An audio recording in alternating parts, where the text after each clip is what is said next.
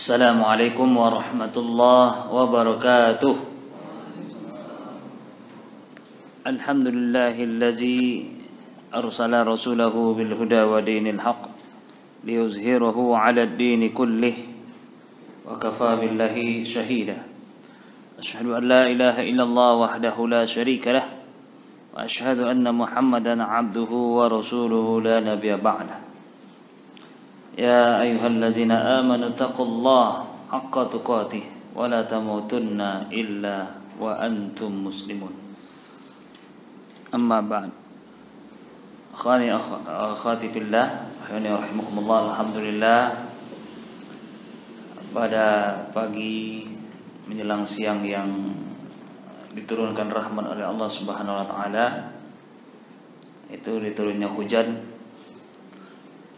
Hujan adalah membawa rahmat bagi kita. Oleh karena itu doa ketika hujan turun adalah waktu yang mustajab.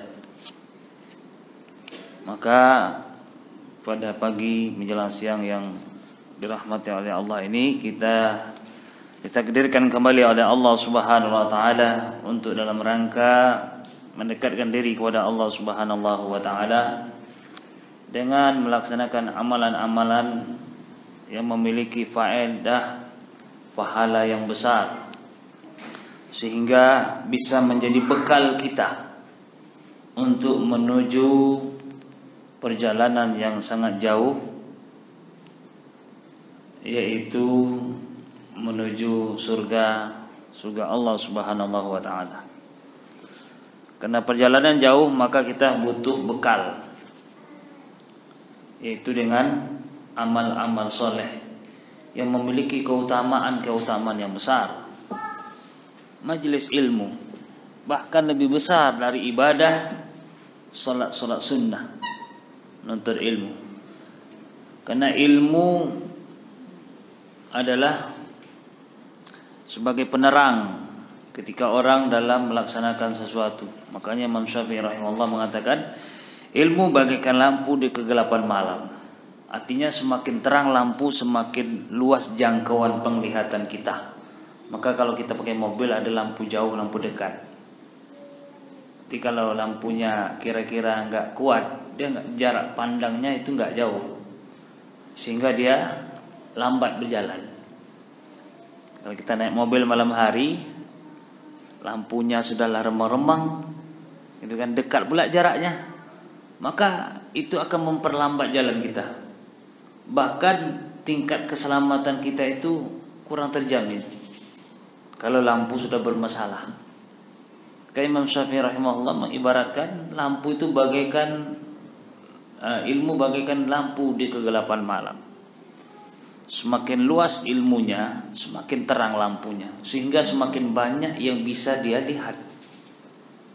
Dan dia mengetahui dengan adanya lampu tersebut dan akan mempercepat jalan kita. Karena hidup ini adalah perjalanan yang harus kita tempuh. Maka butuh namanya penerang. Itu ilmu. Nah, majelis ilmu adalah majelis yang mulia. Yang di situ faedah pahalanya sangat besar sekali. Bahkan jelas sekali hadisnya diriwayatkan oleh Imam Muslim man salaka tariqan yaltamisu fihi ilman sahalallahu lahu tariqan ilal jannah. Siapa yang berjalan di suatu jalan untuk menuntut ilmu maka Allah mudahkan jalan ke surga. Berarti inilah tadi faedah yang sangat besar. Dengan menuntut ilmu. Nah menuntut ilmu adalah bagian dari berbekal kita. Wa tazawwadu fa inna khairaz taqwa berbekallah kamu. Karena sebaik-baik bekal adalah apa? Takwa. Maka Ali radhiyallahu anhu mengatakan takwa itu adalah apa? Ada yang tahu kira-kira? Al khawfu minal jalil. Al khawfu minal jalil. Takut kepada Allah Subhanahu wa taala. Yang kedua, wal amalu bitanzil. Mengamalkan dengan apa yang diturunkan. Ini takwa menurut Ali radhiyallahu anhu. Pertama, al khawfu minal jalil takut kepada zat yang maha agung, yang maha mulia, yang maha perkasa. Kemudian wal amalu bitanzil, mengamalkan dengan apa yang Allah turunkan yaitu Al-Qur'an, hadis yang sahih. Kemudian ar-ridha bil qalil. Ridha dengan apa yang Allah karuniakan, Allah beri. Kemudian apa lagi? Nah, inilah dia wal isti'dad bi yaumir rahil. Orang yang mempersiapkan bekal untuk apa? Menuju perjalanan ar-rahil, perjalanan yang jauh. Itu apa? Akhirat. Kenapa disebut jauh? Karena orang yang sudah berangkat tidak pernah kembali lagi dan tak akan pernah kembali lagi. Berapa lama kita hidup di sini baru sekitar ya 60-an, 70-an sekitar gitulah. Sementara yang sudah berangkat bahkan ratusan tahun, bahkan lebih dari ratusan tahun nggak ada pernah kembali. Ini menandakan jauhnya perjalanan itu. Nah, jadi al-isti'dad bi yaumir rahil, orang orang yang mempersiapkan bekal menuju perjalanan yang jauh. Inilah takwa. Nah, salah satunya adalah majelis ilmu. Majelis ilmu adalah salah satu bekal kita. Bekal kita untuk menuju perjalanan yang sangat jauh. Maka pada kesempatan kali ini kita insya Allah akan melanjutkan tafsir yang berhubungan dengan yang sekarang adalah surat surat apa lagi? Hmm? Surat apa? Al-Kautsar. Oke. Okay. Al-Kautsar wahia madaniyah. Ini adalah madaniyah. Wakila makiyah, namun ada yang mengatakan dia makiyah. Surat Al-Kautsar ini ada yang mengatakan Madinah atau periode Madinah, ada yang mengatakan periode Mekah. Jadi artinya ada dua pendapat di sini untuk uh, suratnya. Disebut Madaniyah adalah surat yang turun sebelum Nabi Hijrah, Makiyah Bakiyah adalah surat yang turun setelah Nabi Hijrah, walaupun turunnya di Mekah. Nah, qila menurut Imam Ibnu Katsir disebutkan juga di dalam tafsir ini bahwasanya ada juga yang mengatakan bahwasanya Al-Kautsar ini adalah Makiyah atau disebut dengan periode Madinah. Ada juga mengatakan Madaniyah, periode Madinah.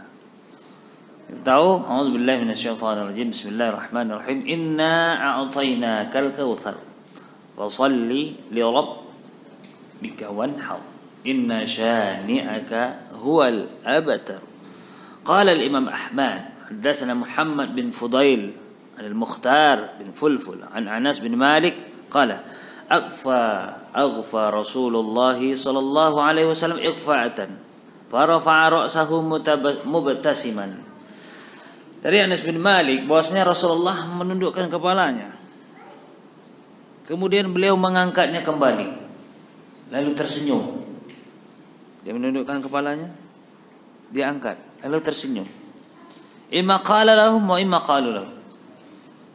Dia seakan-akan ingin berkata sesuatu atau dia ingin uh, mereka berkata atau para sahabat.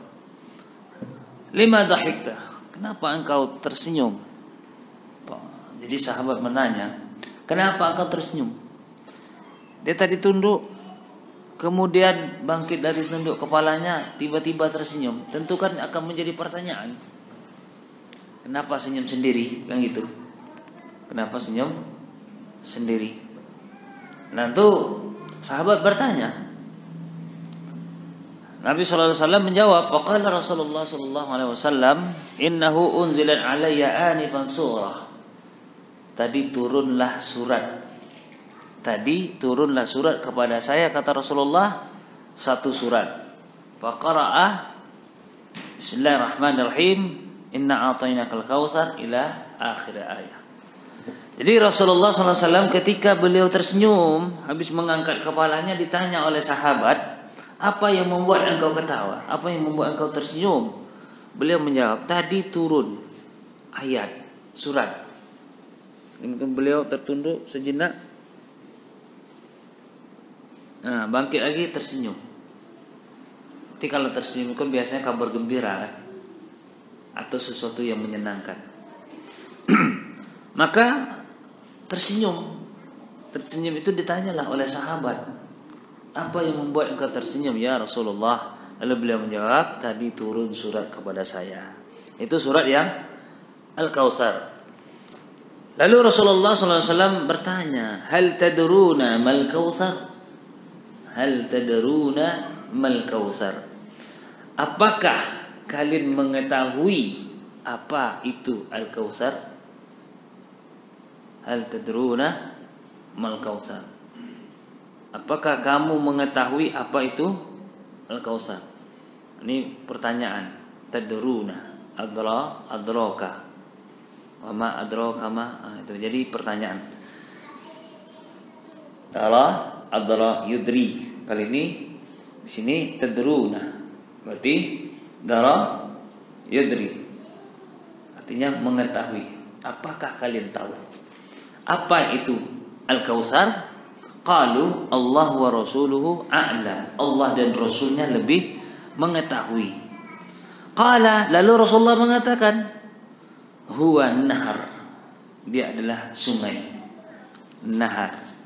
A'tani itu Allah Subhanahu wa taala memberikan kepada saya Rabbi, Rabbku mengkaruniakan kepada saya sungai yang namanya Kausar. Insyaallah. Jadi Rasulullah itu mendapatkan hadiah bonus dari Allah Subhanahu wa taala yang namanya Telaga Kausar atau sungai, Sungai Al-Kausar yang ada di surga, fil jannah di surga. Alaihi khairun kasir. Dia memiliki kebaikan yang sangat banyak. Jadi Telaga Al-Kausar ini dipenuhi dengan keindahan-keindahan kebaikan, kenikmatan-kenikmatan jadi beda dengan sungai biasanya. Penuh dengan kebaikan. Taruddu alaihi ummati yaumal qiyamah. Nanti seluruh umatku akan digiring, akan diajak minum dari telaga ini. Masya Allah. Telaga Al-Kautsar yang seluruh umatnya, umat Nabi Muhammad SAW akan dibawa di situ untuk diminum, untuk ngajak minum.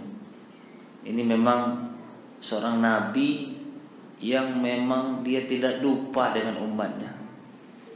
Masya Allah. Walaupun sudah di akhirat, beliau tetap ingat umatnya. Ini Masya Allah.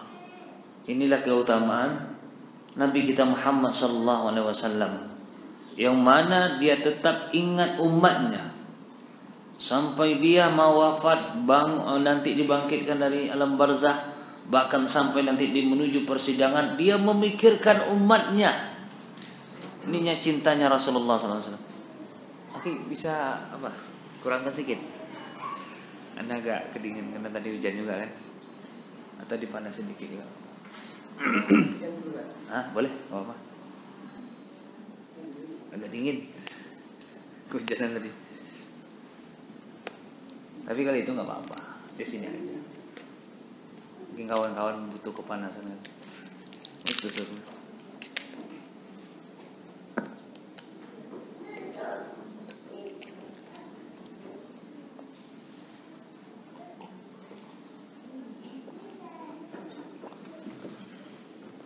Kita lanjutkan. Ini bukti cintanya Rasulullah SAW kepada kita, sehingga setelah bangkit dari alam barzah, dibangkitkan dari kuburnya, dia tetap memikirkan umatnya. Sampai di padang mahsyar dia memikirkan umatnya, dia tidak lupa dengan umatnya. Inilah seorang nabi dan rasul yang benar-benar mencintai umatnya. Berbeda dengan nabi-nabi yang lain. Kita baca di Sahih Bukhari, Sahih Bukhari rahimahullah di dalam kitab syafaat tentang syafaat di situ. Seluruh nabi, Nabi Adam, Nabi Nuh, Nabi Musa, Nabi Ibrahim, Nabi Isa alaihi wassalawatullah alaihim seluruh mereka mengatakan nafsi nafsi sendiri-sendiri. Tapi Nabi kita Muhammad sallallahu alaihi wasallam tidak. Tidak. Dia bersujud di bawah aras meminta kepada Allah Subhanahu wa taala sujud dia di bawah aras dia sujud dia memuji Allah Subhanahu wa taala diilhamkan oleh Allah dengan pujian-pujian. Diwahyukan oleh Allah dengan pujian-pujian yang belum pernah terucap sebelumnya dia meminta kepada Allah untuk memberikan syafaat sepertiga umatnya. Kemudian diminta lagi sampai tiga kali. Ya Allah Subhanahu wa taala, ya Muhammad irfa' ra'sak. Hai Muhammad, angkat kepalamu. Dia sujud di bawah arasy memikirkan umatnya, mendoakan umatnya karena dia cinta kepada umatnya. Kemudian setelah diangkat kepalanya, is'al, mintalah. Kamu diberi. Wasfa' tu syafa' Kamu diizinkan memberikan syafaat. Maka dia memberikan syafaat kepada seluruh umatnya. Masya Allah. Inilah seorang Nabi yang sangat mencintai seorang uh, mencintai umatnya mencintai umatnya berbeda dengan nabi-nabi yang lain ini adalah nabi yang benar-benar mulia karena dia sangat mencintai umatnya bahkan lebih mencintai daripada dirinya sendiri masya Allah dia rela berkorban. Dia rela sakit-sakitan. Dia rela nggak tidur malam.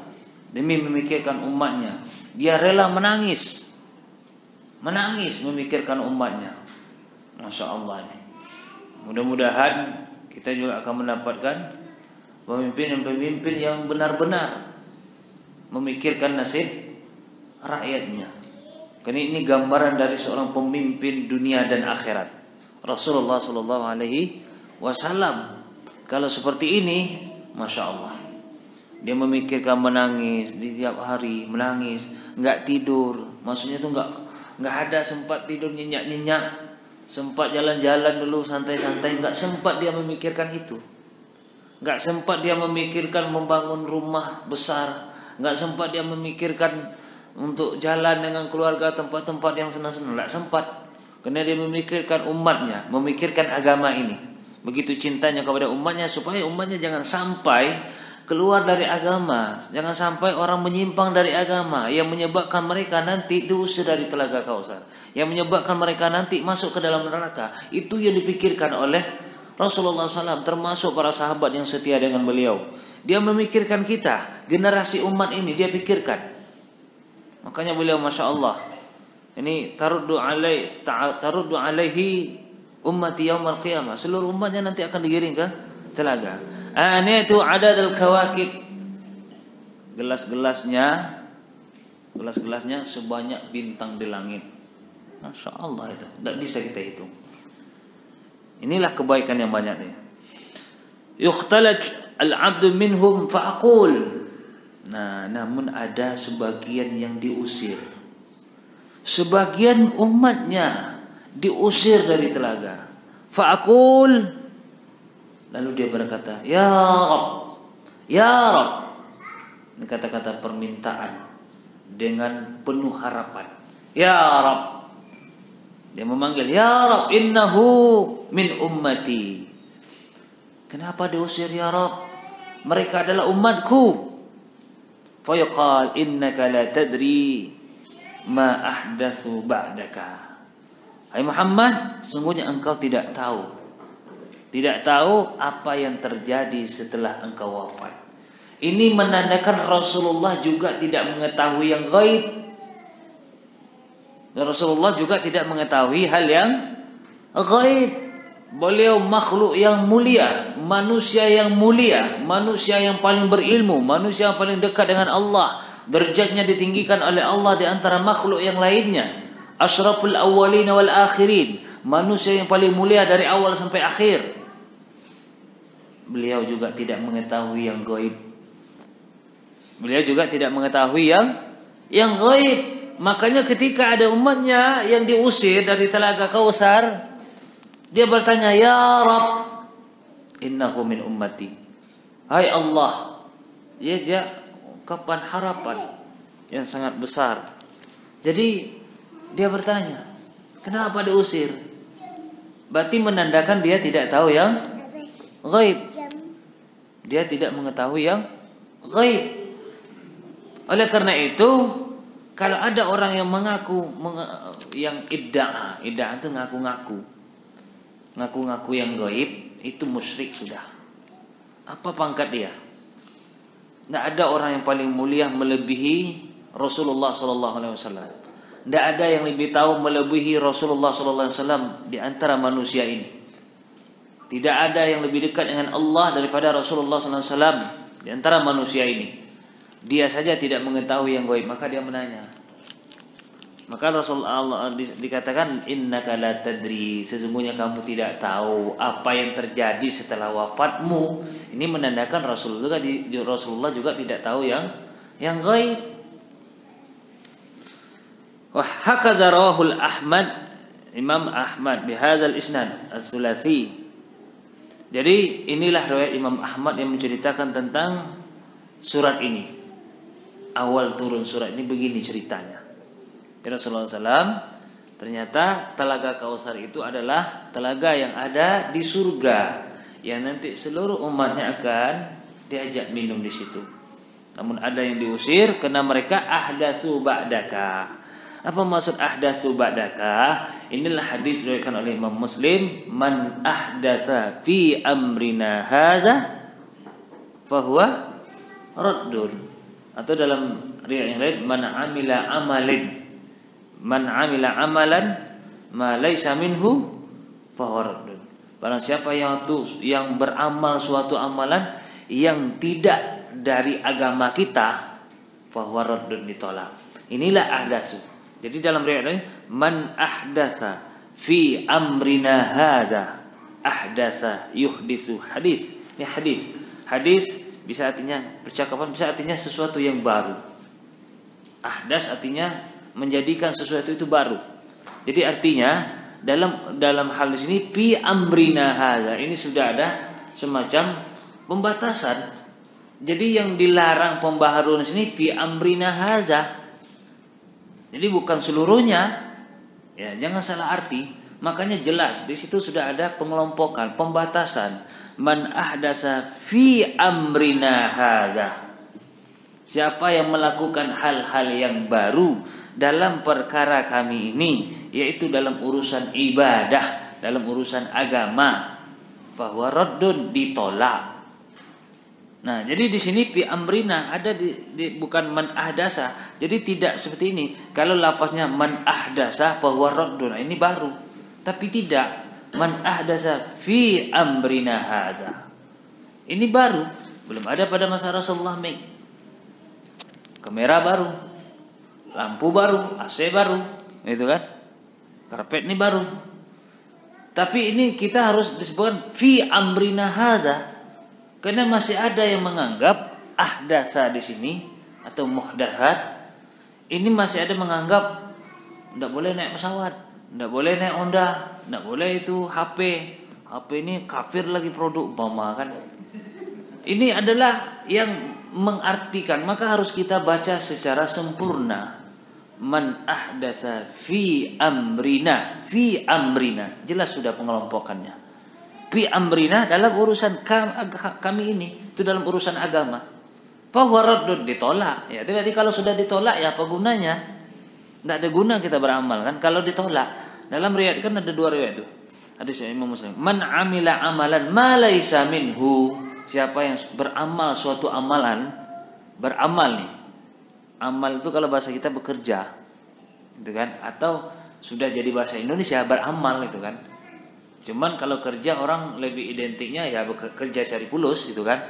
Atau kerja-kerja bergerak itu yang amalan-amalan ini adalah suatu yang sesuatu yang dilakukan. Atau disebut dengan istilah kata kerja yang menggunakan istilah kata kata kerja. Man amila amalan ma minhu yang mana tidak dari agama ini bahwa raddun ditolak Ya kalau di, sudah ditolak tidak ada gunanya kita beramal kan. Yang terjadi apa? Letih. Amilatun nasibah. Apa artinya? Hal ataka hadithul ghashiyah. Wujuhu yawma idzin khashi'ah. Terus amilatun nasibah. Apa tuh? Artinya kira-kira. Amilatun nasibah tasla naran hamiyah. Apa artinya? Amilatun nasibah. Hah? Udah terlaca? Ah, itu dia. Kerja susah-susah, kalau bahasa kaminya letak-letak. Letak-letak kerja, tak ada hasil. Apa gunanya? Udah letak kerja, udah letih-letih kerja itu kan. udah capek-capek kerja, susah-susah kerja, terus tak ada hasil. Tasla naron. Sudah banyak beramal capek-capek begadang dan seterusnya, tapi ternyata tasla naron. Ini yang rugi, digiring ke neraka. Tasla naron hamiyah. Tusqah min ainin aniyah.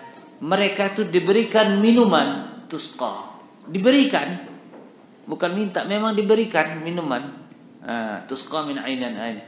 Laisa lahum ta'amun illa dari mereka itu diberikan minuman tapi beda minumannya. Ah, itu kan beli minum kan. Minuman itu kata Allah Subhanahu wa taala disebutkan wa iyastaghitsu yughasu bima'in kal muhl yashwil wujuh. Ketika mereka minta tolong. Minta tolong apa? Ya Allah berilah kami minuman.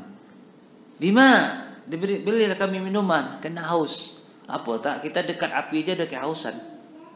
Berjalan di bawah terik matahari saja udah apa hidri apa? Dehidridas. Payah kali bahasa kampung lewat apa caranya?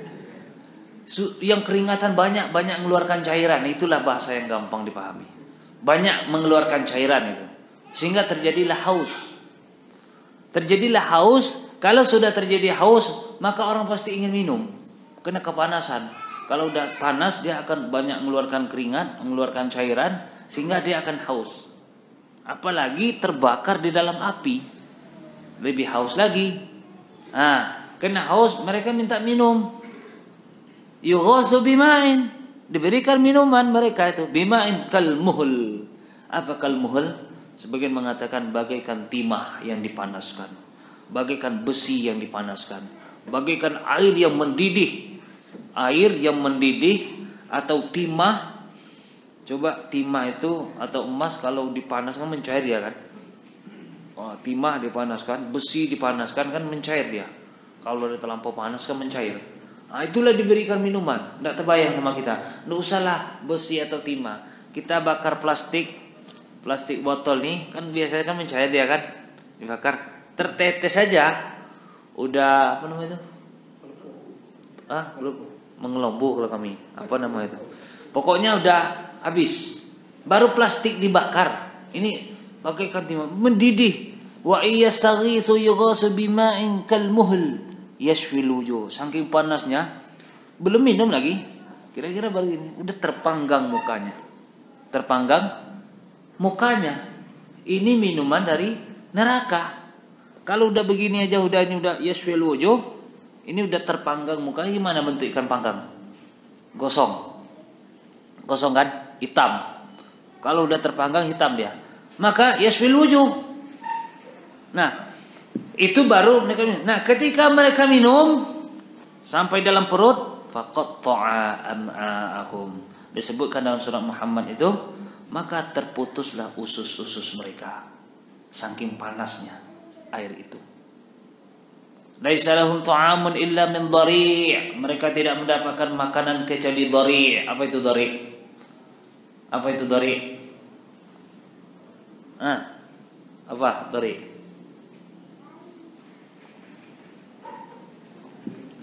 apa? Makanan yang berduri-duri. Yang penting belum pernah kita lihat makannya. Belum ada makanan yang berduri-duri. Kalau di, di kita ini di dunia ini ada tapi baru kulitnya yang berduri. Tapi kalau makanan yang langsung berduri-duri belum ada. Jadi intinya mereka tuh diberikan makanan yang berduri-duri. Yang berduri-duri tentu kalau dimakan tercekik lah Coba aja cari putih durian makan. Telan. Gimana rasanya kan? Tete cekik. Ini makanan Masya Allah berduri-duri. Tentu mereka ingin minum lagi tercekik. Kalau udah tercekik kan mau minum. Itu makanan penghuni neraka itu. Amilatun nasibah. Karena mereka beramal tanpa amalan-amalan yang yaitu udah capek-capek rupanya nggak diterima, ditolak. Kan rugi jadinya. Apa masalahnya? Itu tadi tak sesuai dengan tak sesuai lagi dengan apa yang Rasulullah ajarkan ketika beliau masih hidup. Karena di sini disebutkan innahum ma ahdasu Karena mereka ma ahdasu ba'daka. Karena innaka la tadri ma ahdasu ba'daka. Karena mereka telah membuat sesuatu yang baru setelah engkau wafat. Artinya apa? Pembaharuan-pembaharuan yang mana tidak dilakukan beliau semasa hidup. Inilah yang menyebabkan mereka diusir dari telaga. Sementara air telaga Kausar itu gelas-gelasnya uh, tempat minumnya itu itu sebanyak bintang di langit. Bahkan dijelaskan lagi di dalam hadis berikutnya tentang sifat telaga Kausar ini. Kita lanjutkan dulu. Wa qurida fi sifatil haud yaumil qiyamah annahu yashkhaf. Telah diriwayatkan hadis tentang haud. Haud ini artinya kolam, birka, eh, kolam atau telaga. Pada hari kiamat bahwasanya dia itu turun. Turun yang mengalir. Mizabani dia ada dua talang minas sama dari langit dari telaga Kausar ini. Wa anna alaihi aniyatun adadun nujumis sama. Di telaga ini gelas-gelasnya sebanyak bintang di langit.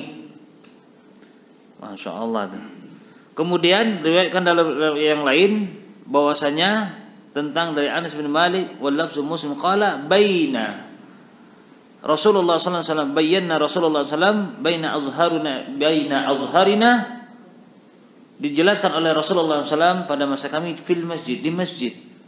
Id aghfa igfa'atan ketika beliau menundukkan kepala. Thumma rafa'a ra'sahu ra'sahu kemudian dia mengangkat kepalanya. Mubtasiman dengan tersenyum. Qulna ma adhakaka ya Rasulullah Wahai Rasulullah, apa sih yang membuat engkau tersenyum? Apa yang membuat engkau tersenyum? Qala unzilat alayya. Diturunkan kepadaku. Bahwasanya surat tadi. Lalu kita dari bacanya surat tersebut. Summa qala atadruna mal kausar? Tahu enggak kalian apa itu al kausar? Qulna Allah wa Rasulullah alam Allah dan Rasulnya lebih mengetahui. Ini hadis yang menceritakan tentang riwayat yang sama tentang di atas. Namun kita mengambil tentang bagaimana sifat yang lain dalam hadis yang lain sifat. Pertama tadi kita sudah menemukan telaga Kausar ini dia memiliki gelas-gelas yang sebanyak bintang di di langit. Kemudian mengalir dari dari langit. Kemudian disebutkan juga di sini tentang sifat yang lain bahwasanya a'taitul kausar fa idza huwa nahrun yajri. Diberikan kepada saya telaga Kausar ini yang mengalir sungainya walam yushaqqu syaqqan wa idza hafatahu kibabul lu'lu. Bahwasanya yang terpancar mata air kemudian di tepi-tepinya itu itu ada kemah-kemah dari mutiara. Masya Allah. Tidak bisa bayangkan. Fadarabtu biyadaya fi turbatihi. Aku ambillah Dengan tanganku Debunya atau tanah-tanah di sekitar sungai tersebut. Faiza miskahu zafrah. Jadi di setelah aku lihat tepi-tepi sungai itu pasir-pasirnya itu masya Allah mengeluarkan wangi-wangi seperti parfum misk. Wa iza hasahu lu'lu kerikil-kerikilnya itu adalah mutiara.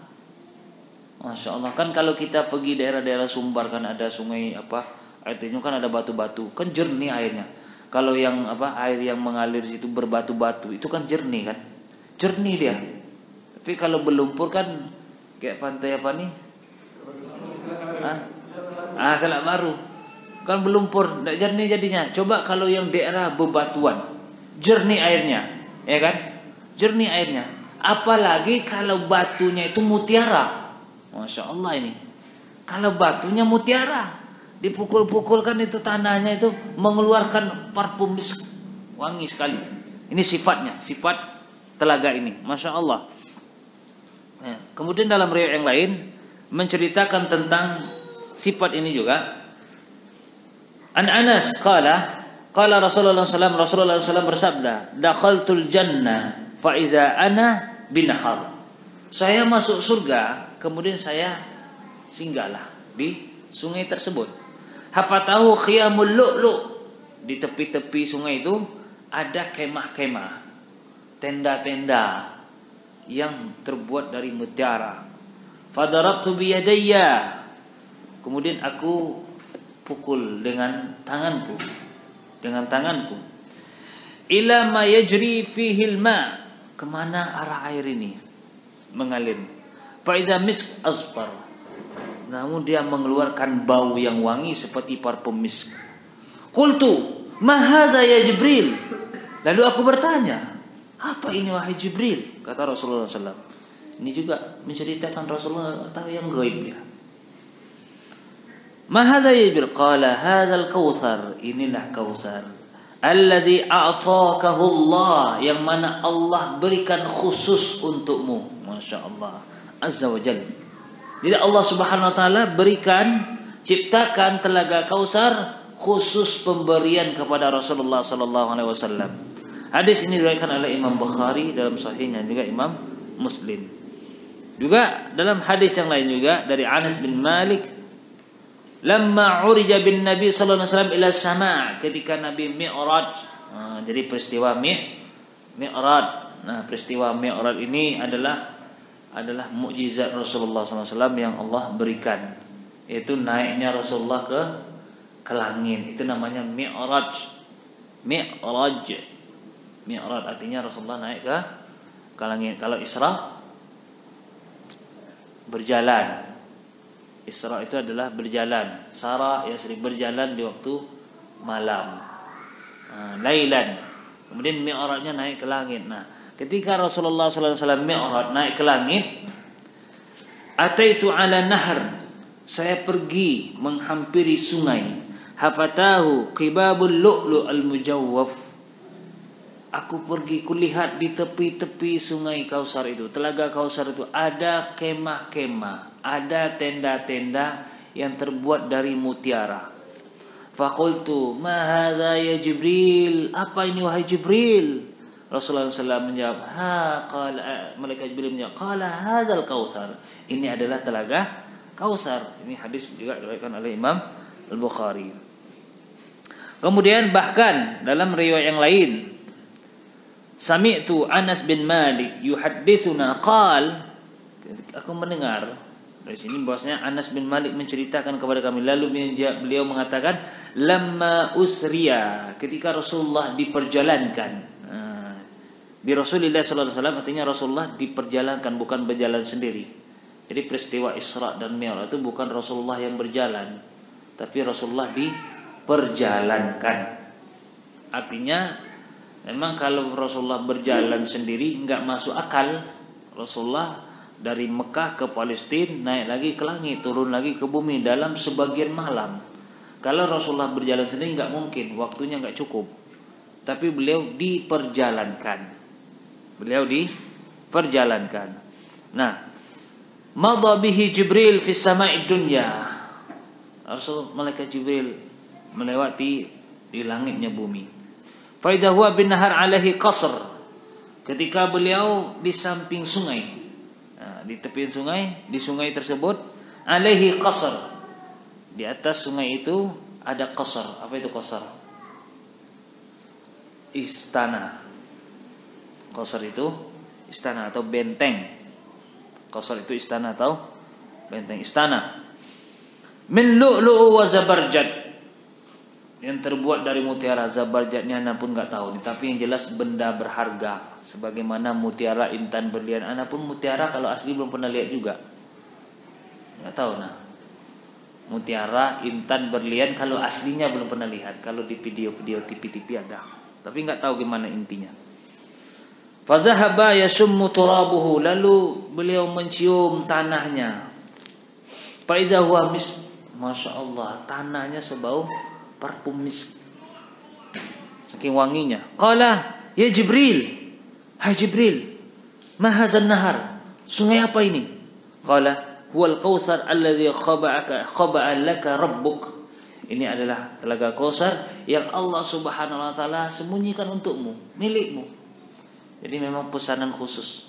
Allah ciptakan khusus untuk Rasulullah sallallahu alaihi wasallam. Ini pemberian juga yang Allah berikan kepada Rasul kita Nabi Muhammad sallallahu alaihi wasallam.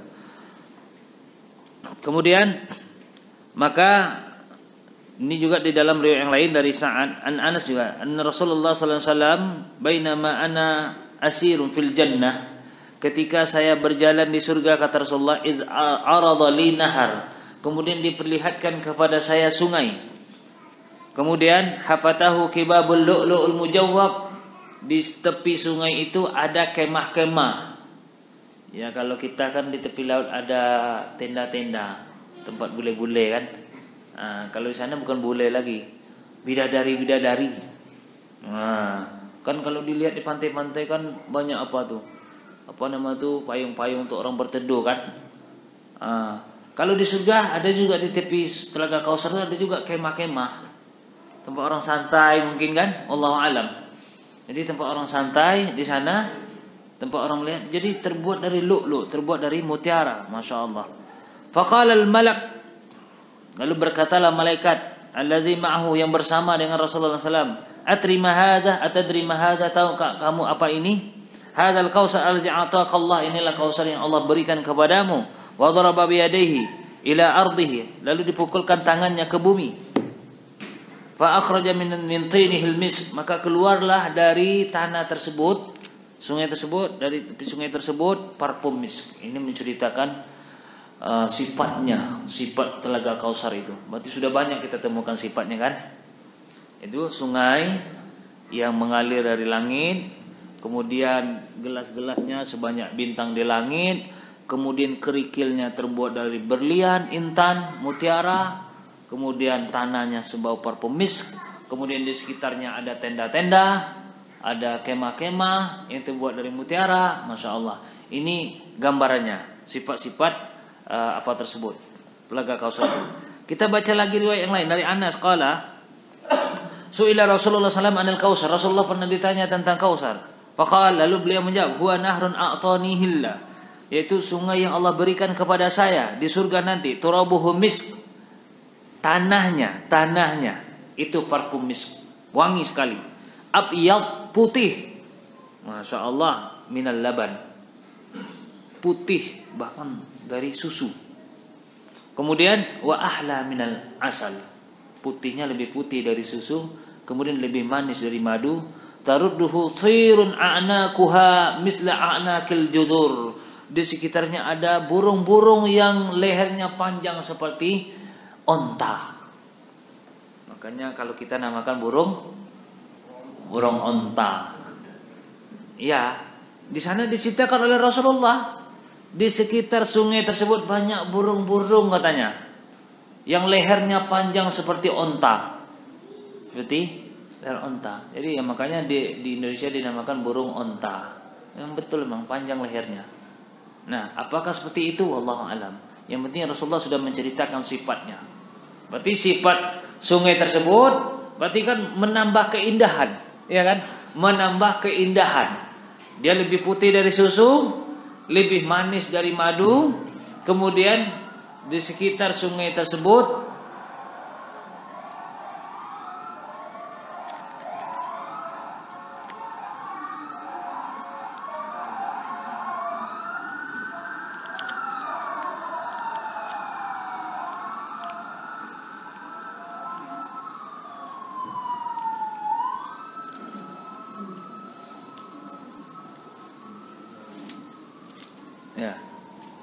udah lewat baru kita lanjutkan. Karena gagal fokus. Oke. Okay. jadi sudah ini hadis lagi menceritakan tentang sifat kausar tersebut. Yang pemberian khusus kepada Rasulullah debunya lebih wangi dari parfum misk kemudian lebih putih dari susu lebih manis dari madu lebih manis dari madu kemudian di sekitarnya banyak burung-burung yang lehernya panjang seperti leher onta. Ini faqala Abu Bakar, "Ya Rasulullah, innaha lana'imah." Wahai Rasulullah, sungguh nikmat sekali. Dia Abu Bakar berkata, "Ya Rasulullah, nikmat sekali." Dia sudah membayangkan begitu nikmatnya kalau ada sungai, airnya bersih, putih, wangi, di situ kerikilnya itu berlihat tentu kan menambah berkilat dia. Ada pula kemah di sampingnya, ada pula burung-burung menambah keindahan, masya Allah. Mudah-mudahan kita mendapatkan. Akilu an'am minha kata Abu Bakar sedih. Aduh nikmat sekali Rasulullah saya akan makan burung itu. Masya Allah. Saya akan menikmati burung itu. Saya akan makan burung itu. Apalagi kita kena namanya di surga itu kan walahmi tayrim mimma ishtahun. Mereka akan memakan daging-daging burung yang sangat menyelerakan. Kan disebutkan surat Al-Waqi'ah itu. Oke, ini tentang sifat-sifatnya yang sudah disebutkan juga di sini. Kemudian dalam riwayat yang lain masih sama maknanya. Bahkan disebutkan asyaddu bayadun minal laban. Lebih dahsyat, lebih putih daripada susu, lebih manis daripada madu.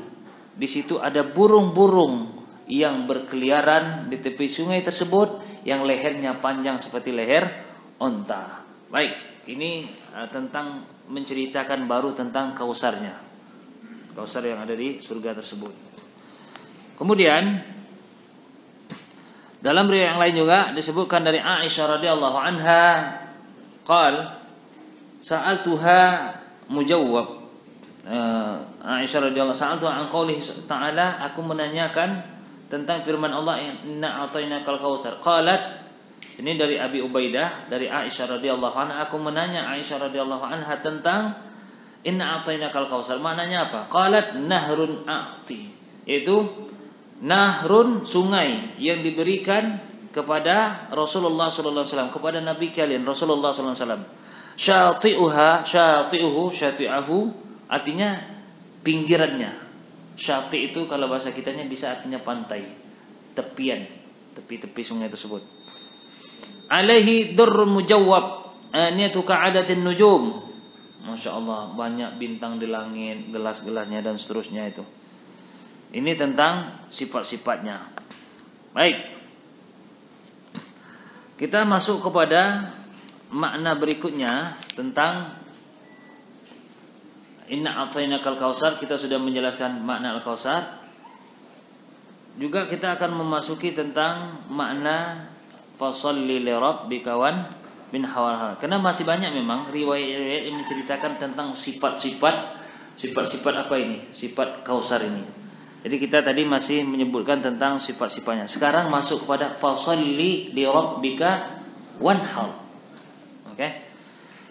Oke. Okay? أي كما أعطيناك الخير الكثير في الدنيا والآخرة ومن ذلك النهر الذي تقدم صفاته kami telah memberi engkau kenikmatan yang baik al-kausar itu kenikmatan yang banyak nah baik di dunia maupun di di akhirat maka kata Allah Subhanahu wa taala kami memberi kamu kebaikan yang banyak baik di dunia maupun di akhirat sebagaimana kita sudah menceritakan tadi bagaimana nikmat di surga itu diberikan khusus kepada Rasulullah yaitu berbentuk sungai yang mengalir yang sangat wangi sekali. Fa akhlas li rabbik fa akhlis li rabbik salatuka al maktuba wan nafilah wa nahrak. Disebutkan di sini maka hendaklah engkau mengikhlaskan hendaklah engkau mengikhlaskan mengikhlaskan apa? salatmu. Kemudian apa lagi? Solatmu yang wajib maupun solatmu yang sunnah serta korbanmu, penyembelihanmu karena Allah. Fasalli li rabbik. Salatlah kamu li rabbik karena Allah. Makanya inna salati wa nusuki wa mahyaya wa mamati lillah. Lillah. Siapa? Allah Rabbul Alamin. Ini Masya Allah nih. Ini sudah penyerahan yang totalitas. Ruhan wa jisman. Hidup matiku. Ruhan wa jisman. Jiwa ragaku sudah kuserahkan kepada Allah. Makanya apa? Inna salati wa nusuki wa mahyaya wa mamati lillah. Siapa Allah? Rabbul alamin. Ini adalah penyerahan yang totalitas. Jadi nggak tanggung-tanggung Islamnya. Islamnya itu nggak tanggung-tanggung, totalitas. Jiwa raganya diserahkan untuk Allah. Makanya sholat, amal perbuatannya itu apa pun hidup matinya bahkan diserahkan kepada Allah. Maka Allah Subhanahu Wa Taala hendaklah kamu salat karena Allah kemudian juga menyembelih karena Allah makanya Allah Subhanahu wa taala menyebutkan di dalam ayatnya itu agar kita benar-benar memurnikan salat kita karena Allah Allah ingatkan ini kenapa memang kadang ada orang yang salat tapi kadang belum menyerahkan karena Allah belum lillah maka disebutkan di sini hendaklah maupun baik solat wajib maupun solat nafilah, solat-solat sunnah haruslah karena Allah. Begitu juga menyembelih. Makanya dalam urusan menyembelih ini kita umat Islam tidak boleh memakan makanan yang tidak disembelih atas nama nama Allah. Agar apa? Menyembelih ini benar juga karena Allah itu. Makanya ya bismillah, mau bismillahirrahman, bismil malik, bismil kudus itu tidak masalah. Umpamanya mau menyembelih Bismillahirrahman Bismil Malik Bismil Kudus Bismil Salam Bismil Aziz Apa lagi? Ya tidak masalah. Yang penting nama Allah. Yang penting nama Nama Allah. Yang penting jangan nama selain Allah. Karena Allah mengatakan Hurrimat alaikumul maytatu waddamu walahmul khinzir Wa ma uhilla li ghairillahi bih. Diharamkan bagi kamu Apa yang pertama? bangkai. Terus darah. Terus daging? Daging babi. Daging babi. Ya daging babi ya kalau daging babi ya daging babi jangan diperhalus lagi bahasanya kadang orang takut menyebut babi itu kasar kali bahasa Al-Qur'annya belum bilang babi Ya maksudnya kalau kalau memang itu babi ya katakan babi. Ini kadang-kadang ingin memperhalus bahasa BPK, B1, B2. Anda serius jujur anda katakan, hampir anda lagi singgah di tempat rumah makan apa tuh B1, B2. Anda nggak ngerti awalnya. B1, B2 apa nih? Anda kan mau makan ada di Jalan Riau dulu. Awal-awalnya emang nggak tahu nih. Adalah rumah makan B1, B2 dapat informasi dari kamu rupanya babi. Jadi jangan diperhalus bahasa itu. Kalau memang babi katakan babi. Itulah yang membuat orang tuh uh, tertipu. Kafir katakan non muslim tertipu orang nanti. Jadi jangan itu bukan kasar. Memang dalam bahasa Indonesia juga babi kan? Ya kan kamu sebesar bahasa Indonesia babi ya katakan babi ini BPK rumah makan BPK rumah makan B1 B2 buat aja rumah makan babi. Nah. Jadi orang nggak ketipu itu. Ya kalau orang udah paham nggak ketipu.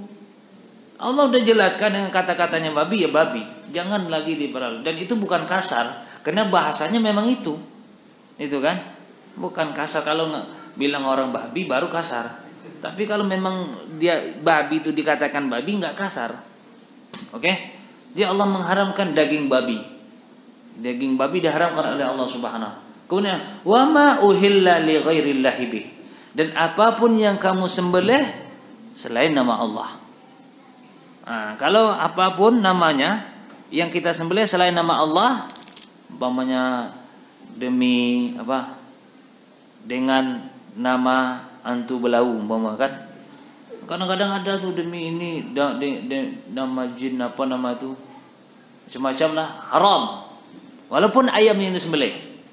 Tapi karena namanya bukan nama Allah disebut haram. Kemudian apa disebutkan itu wama zubiha 'alan nusub. Nah, ini beda. Dengan wama uhilla li ghairillahi bih wama zubiha 'alan nusub berbeda. Kalau wama uhilla li ghairillahi bih yaitu binatang yang disembelih bukan atas nama Allah. Kalau wama zubiha 'alan nusub yaitu binatang yang disembelih tujuannya untuk berhala. Kalau kita ini untuk menyema. Kalau bahasa kami namanya menyema. Memang mungkin baca bismillah sebelah kambing.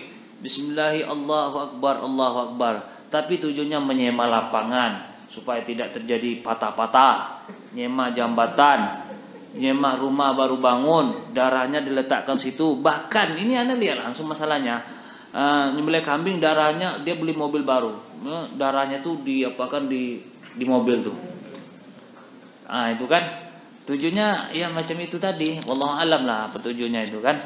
Ada lagi uh, sinso supaya tidak kena kita dan seterusnya nah, dibuatlah apa-apa gitu kan nah, ini ya semacam sema menyema lah gitu bahasa Indonesia nggak tahu juga apa itu menyema juga Hah? Nggak, tahu juga tolong perbaiki bahasa Indonesia nanti kalau salah siapa tahu salah kan jadi intinya yaitu menyembelih binatang tujuannya untuk berhala. Apa berhala? Para ulama menjelaskan berhala itu bukan berarti patung saja. Bukan berarti patung saja. Ma'ubida min dunillah. Apa yang diibadahi, apa yang dipatuhi, apa yang diikuti selain Allah Subhanahu wa taala yang menyebabkan orang menyimpang dari akidah yang benar. Kalau umpamanya ada perintah wangsit atau semacam apa ya, hasil mimpi sembelihlah ini untuk ini dan seterusnya umpamakan ah itu itu itu syaitan maka ini disebut berhala ini ini hati-hati juga kadang-kadang orang dari dalam mimpi anak ada juga menemukan kasus karena orangnya langsung yang cerita sama anak. Dia di dalam mimpinya itu diperintah untuk berkorban apa menyembelih kambing. Perintah. Jadi dalam dalam mimpinya itu dia diperintah untuk menyembelih kambing. Nggak dilaksanakan maka sakitlah dia. Lama sakitnya nggak sembuh sembuh jadi menurut dia eh, kok gara-gara tak sembelih kambing? Akhirnya dia sembelih sembuh. Katanya begitu jadi saya udah lama kan pas mimpi itu disuruh sembelih. Nggak saya sembelih. Sakit saya lama. Tapi saya sembelih sehat saya. Masya Allah nih ini artinya apa ini? Hati-hati. Kita ini bukan nabi. Kalau mimpi nabi wahyu. Kalau mimpi kita bukan wahyu. Apa nama itu? Dari syaitan. Kalau mau dalam mimpi kita suruh sembelih kambing ini ini ya dalam mimpi kita itu kan suruh sembelih kambing tujuannya untuk ini dan suruh tapi kalau ada suruh sembelih kambing sembelihlah kambing berikan pada anak yatim insya Allah bagus tuh mimpi itu insya Allah itu kan sembelihlah kambing beri makan orang pengajian mau makan insya Allah bagus tuh Nah, tapi kalau sembelih kambing ini kalau tidak dilaksanakan nanti anaknya sakit nanti ini dan seterusnya, nah, itu hati-hati. Itu juga setan. Tapi kalau umpamanya dia sembelih suruh sembelih kambing, kalau nggak dilaksanakan nanti menjadi malapetaka yang mudarat bagi dia umpamanya kan ini hati-hati. Ini permainan setan. Juga kadang sering terjadi macam itu. Maka Allah Subhanahu wa taala fasalli li rabbika wanhar, hendaklah kamu menyembelih menyembelih hewan itu karena Allah Ingat, yang menyembelih itu yang ada tuntunnya apa? Nyembelih-nyembelih. Untuk uh, kurban. Apa lagi? Akikah. Apa lagi? Al-hadyu. Apa lagi? Pesta. Pesta juga ada kan? Apa lagi? Nazar. Apa lagi? Yang untuk makan buat lauk-lauk. Pemakan Nah, selain dari hal-hal yang semacam itu, ada tujuannya karena ini karena itu hati-hati. Hati-hati kita. Makanya kalau beli daging, beli daging atau beli yang sifatnya harus disembelih, kita harus lihat orangnya juga. Harus lihat orangnya juga itu. Kalau kita ragu ya tinggalkan. Ya, tapi kalau insya Allah kalau hidup di daerah Islam, insya Allah mudah-mudahan dengan cara Islam itu kan.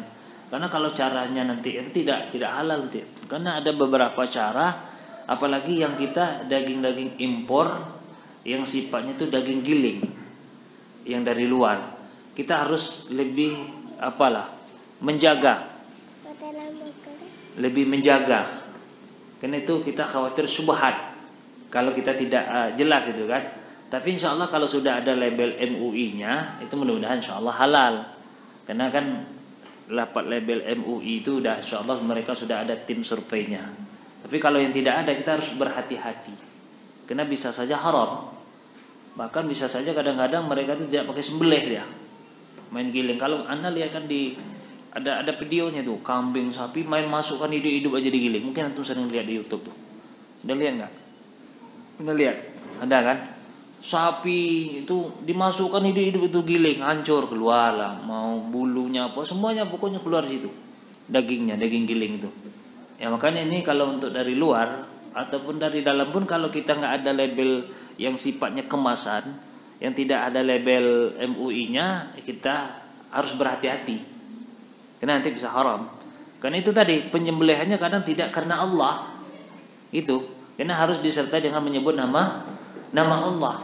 Nah, atau menyebut nama Allah tapi kalau tujuannya untuk berhala-berhala, ini harus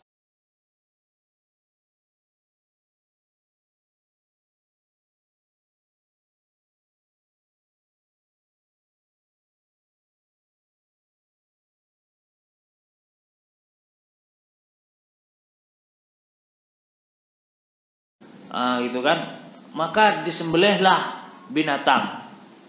Tak uh, hewan. Mungkin tak kambing tak apa. Tujuannya apa? Untuk ini. Untuk menghindari ini kata. Karena ada katanya kelihatan sering kelihatan gitu dan seterusnya. Padahal mungkin kalau diselidiki kadang-kadang ibu-ibu yang tak pakai jilbab mungkin. Mungkin kan? Tapi dia langsung nampak langsung oh ada orang rambut panjang dan seterusnya itu kan? Langsung diponis. Kasihan ibu-ibu kalau makanya ibu-ibu harus pakai jilbab nanti dibilang pula kuntilanak kan kalau apa. Kita khawatirnya begitu. Karena masih ada yang ada menganggap oh ada kuntilanak asal ada rambutnya panjang dianggap kuntilanak itu kan. Padahal kan belum tentu. Bisa saja orang tak pakai jilbab umpamanya kan. Bisa saja. Kena rasa takut tadi sugesti takut tadi yang membuat dia memandang sesuatu itu kadang seperti yang menakutkan. Padahal tidak. Karena syaitan itu sengaja. Allah mengatakan innama yukhawwifu awliya'ahu innama zalikum syaitanu yukhawwifu awliya'ahu fala takhafuhum wa khafuni in kuntum mu'minin kata Allah Sesungguhnya syaitan itu sengaja menakut-nakuti antek-antek mereka itu. Sekutu-sekutu mereka. Maka janganlah takut, janganlah takut kepada syaitan kata Allah, tapi takutlah kepadaku jika kalian orang beriman. Maka rasa takut, sugesti takut tadilah yang membuat sesuatu pemandangan itu kadang-kadang menyeramkan padahal dia tidak menyeramkan. Jalan tengah malam nampak hantu putih kata rupanya goni orang, guni pupu orang. Guni pupu kan dianggap hantu putih. Karena rasa takut tadi Makanya kita khawatir orang menganggap kuntilanak-kuntilanak ini sebenarnya bukan bukan apa-apa, tapi sugesti takut tadi yang membuat itu pemandang semacam itu. Oke? Okay? Jadi harus berhati-hati dalam menyembelih. Makanya Allah Subhanahu wa taala menyebutkan Inna salati. Qul Hai Muhammad Katakanlah Inna salati. Sesungguhnya salatku. Salatku. Wa nusuki. Apa nusuk? Sembelihan. Wa nusuki wa mahyaya. Kemudian hidupku. Wa mamati. Wa mama. Udah jadi bahasa Indonesia tuh wa mamati. Mati. Ya kan? Udah jadi bahasa Indonesia. Mati. Artinya matiku. Wa mamati lillahi rabbil alamin untuk Allah Subhanahu wa taala. Ini orang yang benar-benar Islam yang sesungguhnya menyerahkan hidup dan matinya karena Allah. Makanya ada ulama mengatakan orang yang dikatakan Islam sesungguhnya sebagaimana Nabi Ibrahim alaihissalam dan Nabi Ismail alaihissalam. Ketika dia mengatakan Allah uh, dia bermimpi, nah, inilah mimpi wahyu tadi. Nabi Ibrahim bermimpi untuk menyembelih anaknya Ismail. Dan ini pendapatnya lebih kuat walaupun ada mengatakan yang disembelih itu Ishak, tapi adalah Ismail alaihissalam yang sembelih. Nah, ketika dia bermimpi ingin menyembelih anaknya Ismail, Akhirnya mereka tunduk kepada perintah Allah. Qala ya abati fa'al ma tu'mar satajiduni insyaallah minas. Hai bapakku, laksanakanlah apa yang diperintahkan. Semoga engkau mendapat hak orang yang sabar. Nah, coba kita lihat di lanjutan ayat. Falamma aslama nah, aslama dari kata Islam. Falamma aslama wa tallahu lil jabin. Ketika mereka berdua pasrah. Artinya Nabi Ibrahim siap menyembelih anaknya yang tercinta. Bayangkan, dalam satu ayat umur 80 tahun baru dia mendapatkan keturunan. Nah, artinya sudah dapat anak suruh pula sembelih lagi. Kan sayangnya itu kan, sayang dia sama anaknya. Kita tidak dapat anak tiba-tiba dapat anak suruh sembelih pula lagi. Ini kan berat sekali cobaannya, maka dia masuk ulul azmi, Khalil, Khalilur Rahman.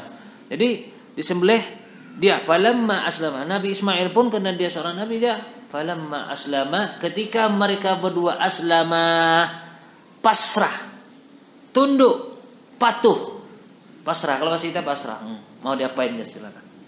Falamma aslama wa tallahu lil jabin, pipinya ditempelkan ke tanah untuk siap disembelih. Inilah Islam yang sesungguhnya. Artinya apa? Hidup mati mereka itu serahkan untuk Allah. Kalau memang ini perintah Allah ya sudah sembelih. Inilah yang disebut dengan istilah Islam sesungguhnya.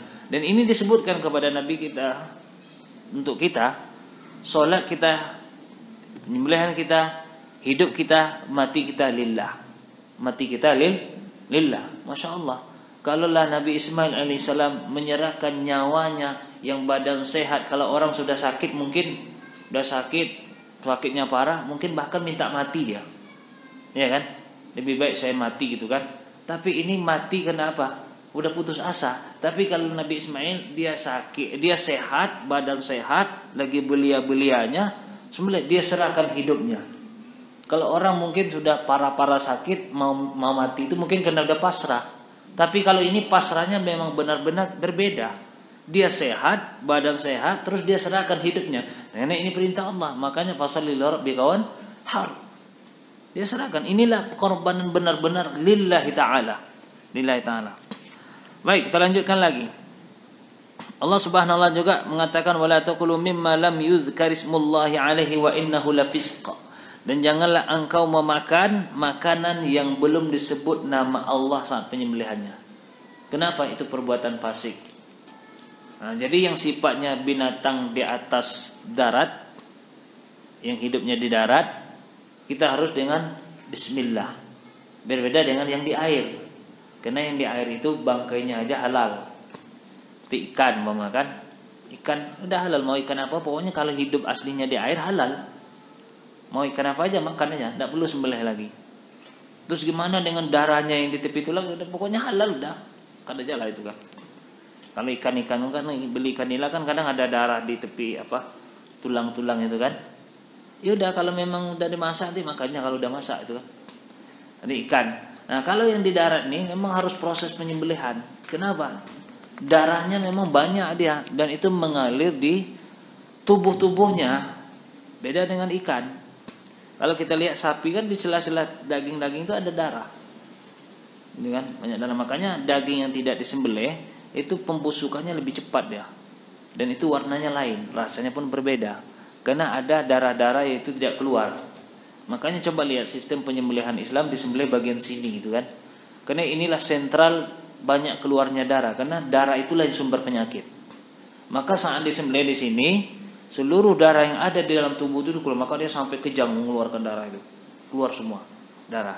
Sehingga dagingnya lebih segar. Coba kalau disentrum. Kalau diumpamanya ditanduk, dipukul yang istilahnya dipukul tidak mengeluarkan darah, mati dia. Itu dia akan busuk dia darah tadi membeku di dalam daging sehingga menjadi penyakit. Babi itu kenapa itu tidak boleh? Karena dia nggak ada leher, mau disembelih di mana itu? Badan oh langsung. Nggak ada leher dia. Jadi susah. Nah kalau uh, sapi kita lihat jelas penyembelihannya. Ini jelas itu kan putus kepalanya itu kan. Jadi halal di situ. Sesuatu yang disembelih dengan atas nama Allah Subhanahu Wa Taala akan halal dan fasik ketika kita memakan makan yang tidak disembelih atas nama Allah Subhanahu wa taala. Kemudian disebutkan lagi bahwasanya ditanya oleh Rasulullah sallallahu alaihi wasallam dari Ali bin Abi Thalib radhiyallahu anhu qala lamma nazalat hadhihi surah ketika surah ini turun di atas Nabi ala Nabi sallallahu alaihi wasallam inna a'tainakal kasar fasalli lil qala Rasulullah sallam Rasulullah sallam bertanya ya Jibril ma hadhihi nahirah apa yang dimaksud dengan nahirah ini penyembelihan ini? Alati amarani biha rabbi yang Allah perintahkan ini. Jadi kan sifatnya umum fasalli li rabbika wan har inhar. Apa yang dimaksud dengan inhar sini wahai Jibril kata Rasulullah? Ini juga Rasulullah kita kalau tidak tahu permasalahan perlu bertanya juga. Makanya Rasulullah juga bertanya kalau dia tidak tahu. Apa yang dimaksudkan mahadihin nahira? Apa yang dimaksud dengan in hari ini wahai Jibril? Kata Rasulullah. Ya Rasulullah bukan mentang-mentang Rasul dia sok pandai tidak. Ini kadang-kadang ini rasa gengsi ini kadang nggak boleh juga. Kalau kita nggak tahu tanya. Kita nggak tahu tanya. Makanya Rasulullah allamahu syadidul quwa. Yang mengajar Rasulullah adalah mereka Jibril langsung. Karena kalau dia tidak tahu bertanya, mahadhihi nahirah? Apa yang dimaksud dengan inhar sini? Yang Allah perintahkan kepada saya. Karena situ sifatnya umum. Wanhar, sembelihlah. Apa yang dimaksud di sini?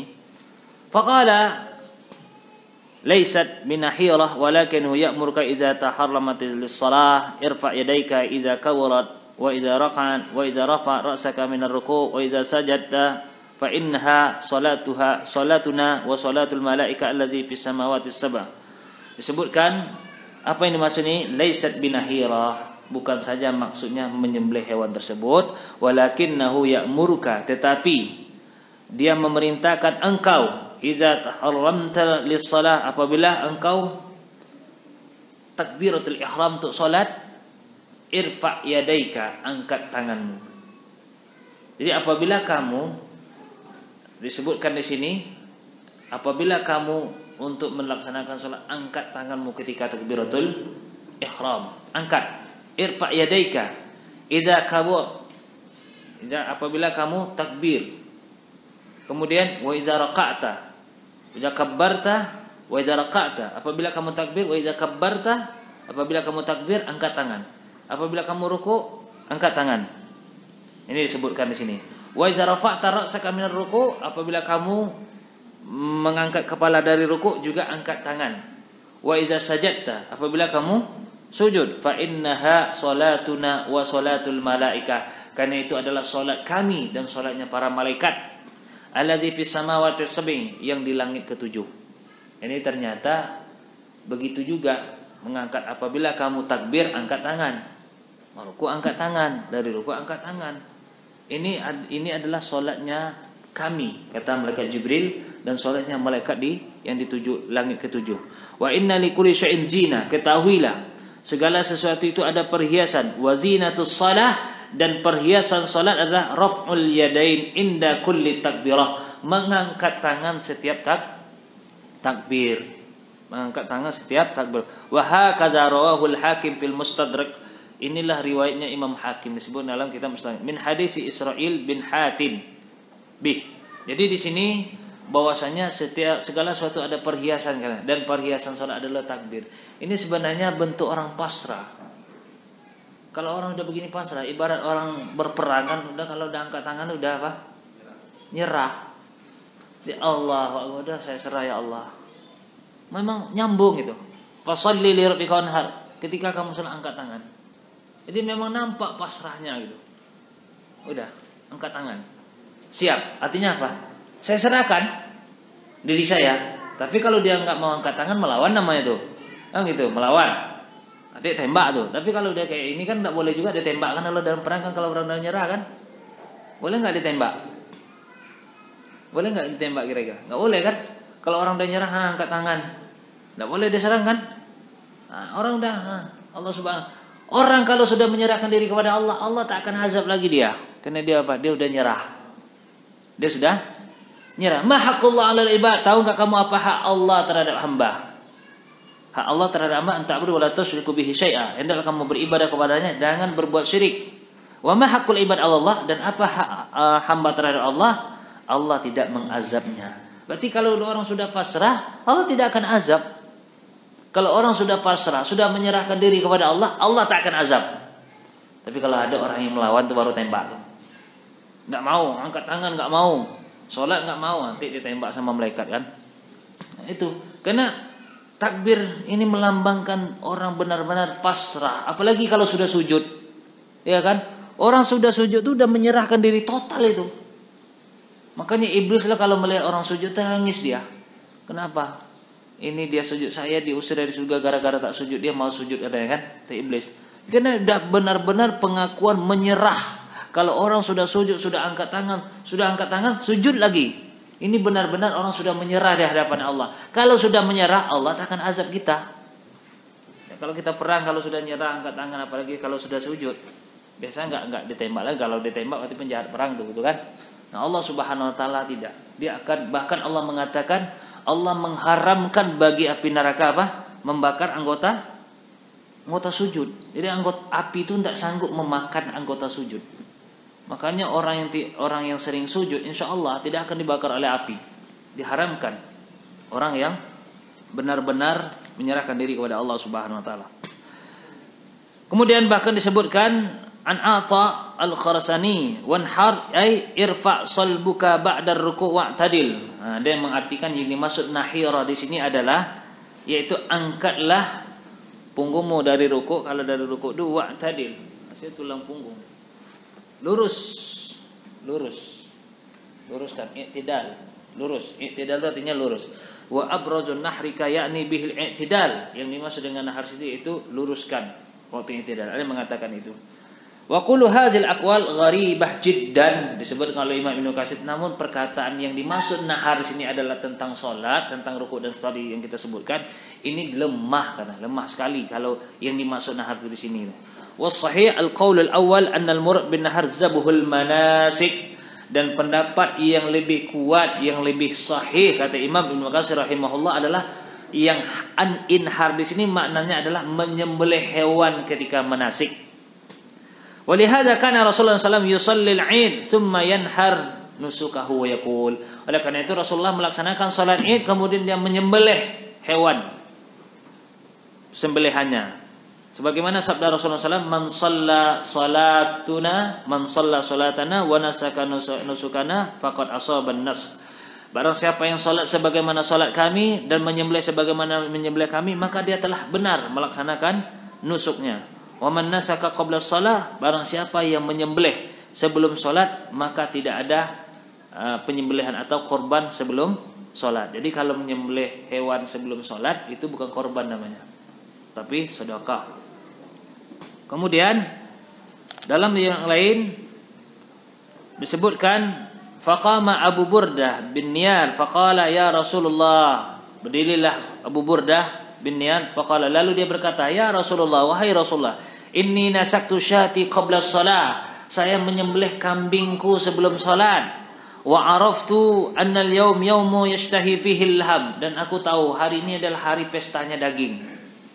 Qala syatuka syatul laham daging sembelihan kamu adalah daging untuk dimakan fa inna indi inaqan hiya ahabu ilayya min syataini afatajizu anni jadi ini menceritakan tentang bagaimana seorang sahabat dia melaksanakan penyembelihan sebelum sholat. Lalu dikatakan ia sembelih biasa.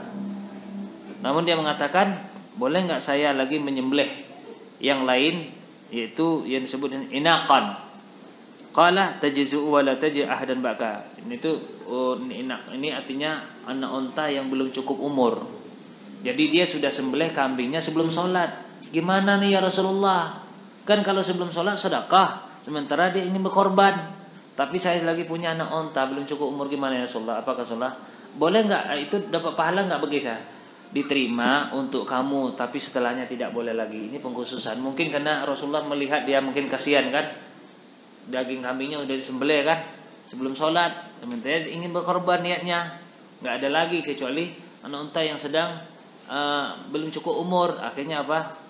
Rasulullah SAW udah untuk kamu boleh tapi setelahnya nggak boleh lagi ini masya Allah ini juga adab Rasulullah atau metode dakwah Rasulullah SAW kepada umatnya benar-benar dia ketika ada seorang hamba seorang apa umatnya yang ingin semangat kuat ternyata mungkin ada satu dan lain hal Rasulullah berikan solusi ini bagusnya masya Allah kemudian yang terakhir inna syani'aka wal abatar adalah yang dimaksud inna syani'aka wa abtar ai inna mubghidaka ya Muhammad wa mudghu majita bihi. Sungguhnya orang yang membenci wahai Muhammad dan yang membenci apa yang kamu bawa yaitu Islam.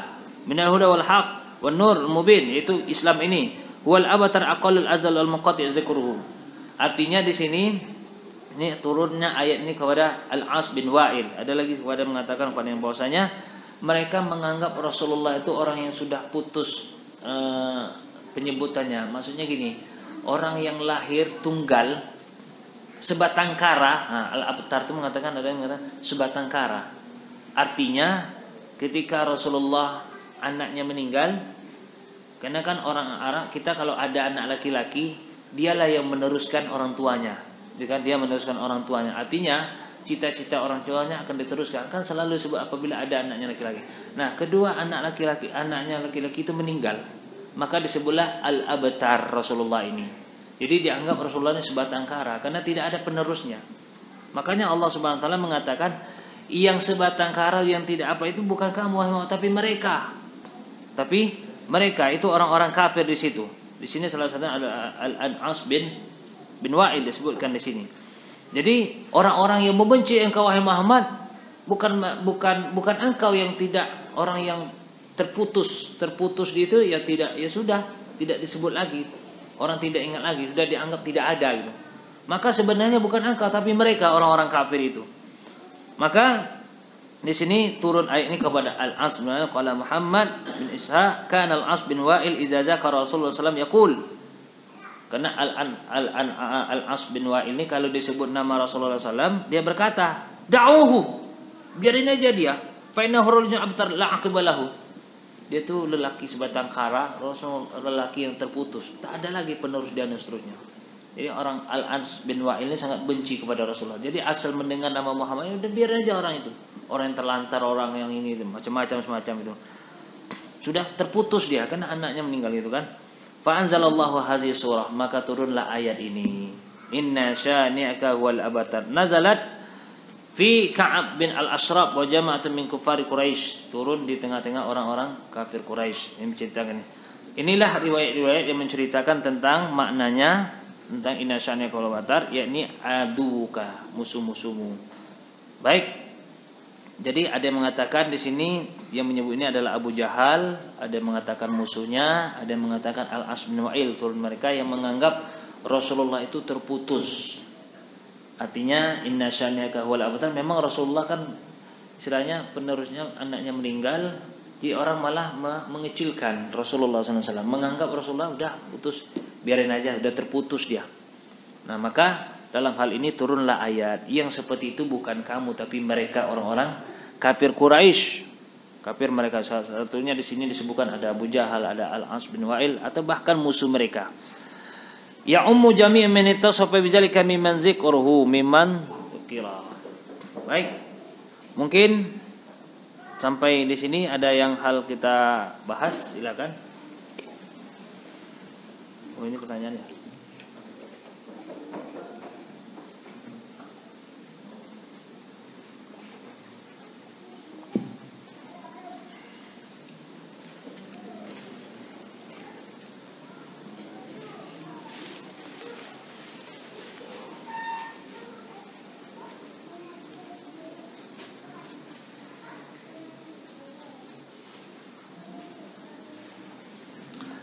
Bagaimana tentang tafsir ayat yang apakah mutlak sesuai dengan asbabun nuzul saja atau perilaku berlaku bagi kehidupan berikutnya? Contoh ayat tentang ya ayyuhal mudathir.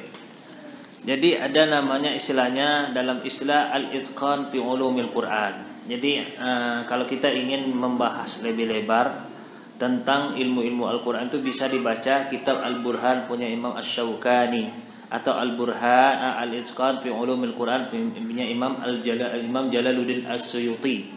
Artinya di sini itu ilmu-ilmu yang membahas tentang Al-Qur'an. Memang ada namanya istilahnya sebab nuzul Quran.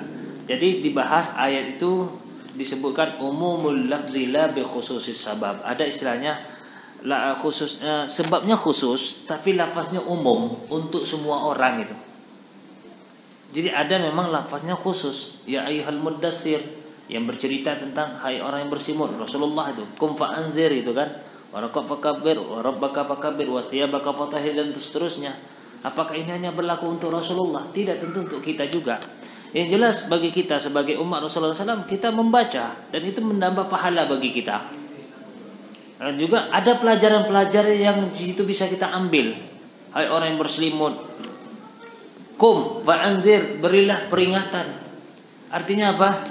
Kita ini jangan tidur terus. Dakwah. Jangan kita ini pasif. Harus bergerak dakwah itu. Dakwah itu harus ber, bergerak, jangan tidur, jangan nunggu, tapi harus bergerak. Ah, nunggu si ustaz biar aja ustaz yang bergerak. Tidak, harus bergerak semuanya dalam berdakwah. Jadi intinya memang ada pelajaran-pelajaran. Makanya memang khusus sebab. Sebabnya khusus. Lafaznya umum. Umum lafzi la bi khusus.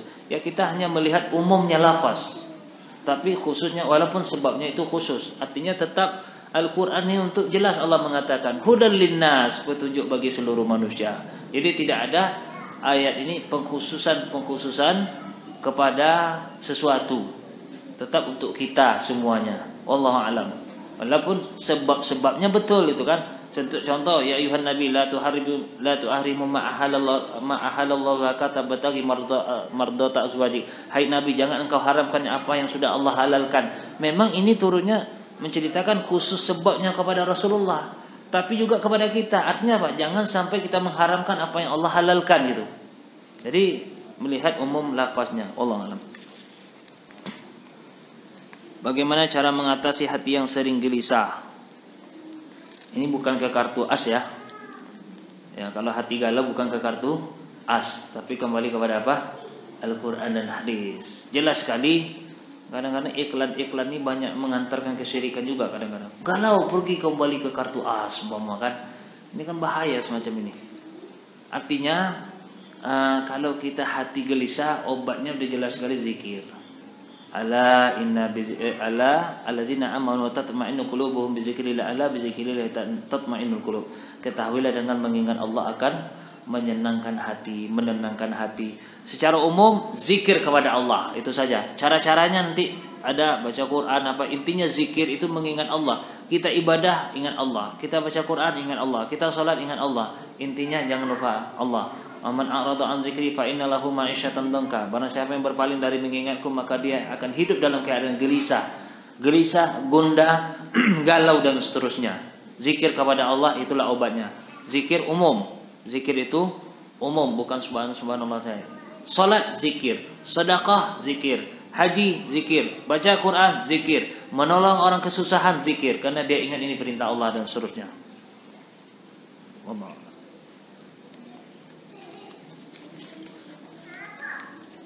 Bagaimana hukum bersahabat dengan perempuan dan sudah dianggap seperti adik? Insyaallah ini.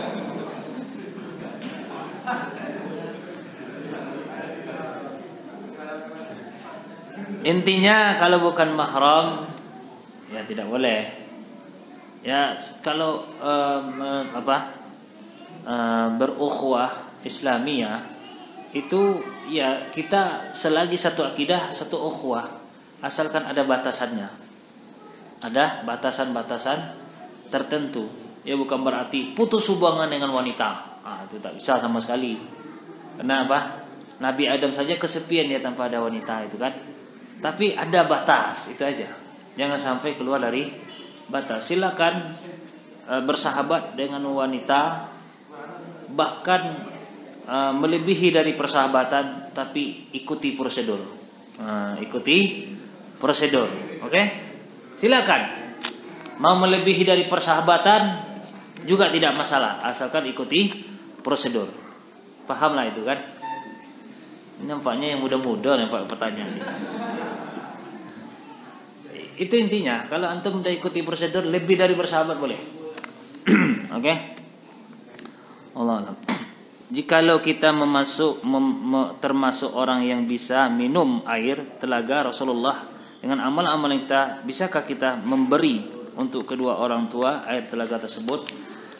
Kalau untuk syafaat kepada uh, orang tua sebagai anak ada bahkan ada hadis Rasulullah SAW menceritakan bahwasanya uh, ada nanti seorang tua di surga itu mendapatkan derajatnya naik. Tiba-tiba naik derajat gitu. Pamannya kalau istilah hotel sekarang ini ada bintang 3, bintang 4, bintang 5 kan Anggaplah sekarang ini baru bintang satu hotelnya. Naik dia langsung ke bintang tiga. Kok saya bisa sampai ke sini? Nah, hadis ini dikeluarkan oleh Imam Ibnu Majah. Uh, kok bisa sampai di sini? Itu bi istighfari wal bi istighfari walidi waladika. Ini karena istighfarnya anakmu. Karena mohon doanya anakmu. Nah orang kalau sudah masuk ke dalam surga sudah jelas insya Allah mendapatkan fasilitas-fasilitas surga. Salah satunya apa? Minum air telaga kausar. Jadi uh, kita sebagai anak nggak perlu sibuk lagi meminumkan orang tua kita, karena sudah disediakan. Wama im maskub air sudah udah maskub sudah tersediakan airnya. Jadi nggak usah kita sibuk-sibuk kayak di dunia ini suapkan ibu, siapkan mak, menenek kita, mbak makan. Nggak perlu sibuk-sibuk kita. Sudah dituangkan. Itulah enaknya fasilitas surga. Jadi nggak perlu kita sibuk-sibuk menuangkan menyuap tidak, dia langsung. Oke. Okay? Jadi yang intinya sekarang sebagaimana apa yang dia lakukan? Kalau ingin membantu orang tuanya di surga nanti mendapatkan fasilitas surga, cukup kita beristighfar, mohon doa kepada mereka. Jadilah anak yang soleh, itu kuncinya. Jadilah anak yang soleh itu secara umum. Sehingga nanti orang tua otomatis fasilitasnya sudah naik level. Nah, kalau sudah mendapatkan sudah masuk ke dalam surga, udah udah pasti insya Allah mendapatkan minum telaga kausar. Jadi bukan kita lagi yang ngasih minum. Udah aman itu. Pokoknya tidak usah khawatir lah nanti siapa yang beri minum ibu saya tidak usah khawatir. Yang penting sekarang masuk dulu deh dalam surga. Gitu aja. Allah alam. Assalamualaikum warahmatullahi wabarakatuh. Waalaikumsalam warahmatullahi wabarakatuh. Tak Anda bingung dalam menentukan pilihan. Masya Allah ini mudah lagi nampak ini. Di sisi lain keluarga Anda suka sekali sama si dia. Namun dia belum ada kejelasan yang pasti. Namun dia cuman kasih kode. Masya Allah. Masya Allah. Untuk menunggu. Di sisi lain ada seorang yang pasti dan berniat serius. Tapi keluarga. Jadi kita sebenarnya soal jodoh tuh tidak perlu pusing. Ya, tidak perlu kita apa. Yang penting ibu kita ridho. Udah berangkat Bismillah. Itu kan ridho. Cuman juga orang tua jangan pula kadang orang tua ini karena apa? Ingat sebagai orang tua yang makai itu bukan orang tua. Jangan mentang-mentang orang tua pakaian anaknya dipaksakan memakai baju ukuran dia tidak bisa. Ini yang makai anak. Kita orang tua hanya mengarang ini kayaknya yang pas bagi kamu nih. Coba deh tes lu makan. Ukurnya apa ente XL, ini XL nih. Artinya apa? Sebagai orang tua mengarahkan mengarahkan. Kalau umpamanya kalau orang tua jangkauannya jangka uh, pertimbangannya agama ya sudah insya Allah itulah yang pas. Tapi ada kadang-kadang kena pertimbangan kawan lama sogan awak kalau ini ah, itu tak bisa. Kalau sogan menyogan nanti nggak lama itu. Jadi istilahnya Bismillah karena Allah. Yang jelas kalau udah orang tua melihat agamanya bagus ya sudah. Insya Allah ini nggak usah pusing. Ya perempuan di atas bumi ini banyak itu yang kadang membuat pusing. Makanya udah fokus saja kepada satu tujuan dia sudah. Kalau dia dia. Kalau enggak enggak ini. Ente mau enggak? Kalau mau ayo langsung. Kalau enggak ya udah itu. Selesai. Cari yang lain lagi. Hah? Oh tanya akhwat Oh tanya akhwat nih? Apa yang harus anda lakukan dalam hal ini? Anda sudah yakinkan hati untuk memilih satu di antaranya. Tetapi satu di antaranya berarti lebih dari satu nih. Tetapi terkadang timbul rasa tidak yakin. Itu selalu ah ini. Ketidakyakinan ini adalah bentuk was-was bisikan syaitan ke kita kita melangkah. Karena kan kita ini yakin udah pengalaman nih bapak apa anak yakin udah pengalaman. Mungkin pada awal itu bingung dia. Dia dia dia dia. Maka ada nama istilahnya istiqoroh anda dulu juga begitu artinya pengalaman dulu ada semacam itu. Bingung. Kalau sama dia nih rasa-rasanya nanti begini-begini. Oh itulah yang selalu menghantui kita. Pokoknya kalau udah Bismillah Bismillah ya Allah. Anda niat anda ini untuk menjaga pandangan mendudukkan hati dan seterusnya. Bismillah udah insya Allah aman tuh Istiqarah. Istiqarah berikan penjelasan kepada orang tua, maka sebagai orang tua tadi sekalipun dia anak uh, masih perawan, kalau perawan kan harus persetujuan gitu. Uh, harus apa? Boleh orang tua bapak tadi memaksakan itu kan. Tapi ingat, memaksakan orang tua dengan bagaimana berbeda dengan sahabat. Kalau sahabat tuh ketika mengajukan anaknya Umar bin Khattab mengajukan bahwa kan itu memang pertimbangannya ada yang lain. Kalau kita ini kadang materi banyaknya di situ karena kawan lama dan seterusnya ini tidak bisa. Maka insya Allah dengan istikharah minta saran kepada si orang tua orang tua kita kalau mereka sudah ridho insya Allah itulah kebahagiaan bagi kita insya Allah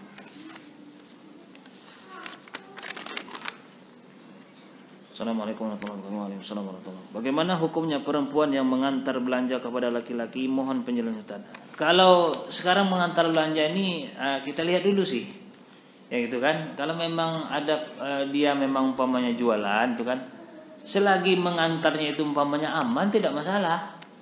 Artinya umpamanya sekarang ini makanya ini harus kita lihat juga dulu. Mengantarnya ke mana, jauhnya berapa, oleh siapa itu. Kalau kadar sekedar umum kan itu. Kalau kembali kalau kepada aurat jumhurul ulama muka telapak tangan itu bukan aurat. Artinya kalau selamat tidak masalah. Nah kalau dia mengantarkan belanja umpama kan karena dia jualan umpama kan ada orang pesan umpama kan dan itu umpamanya jaraknya pun tidak jauh aman dia ya tidak masalah.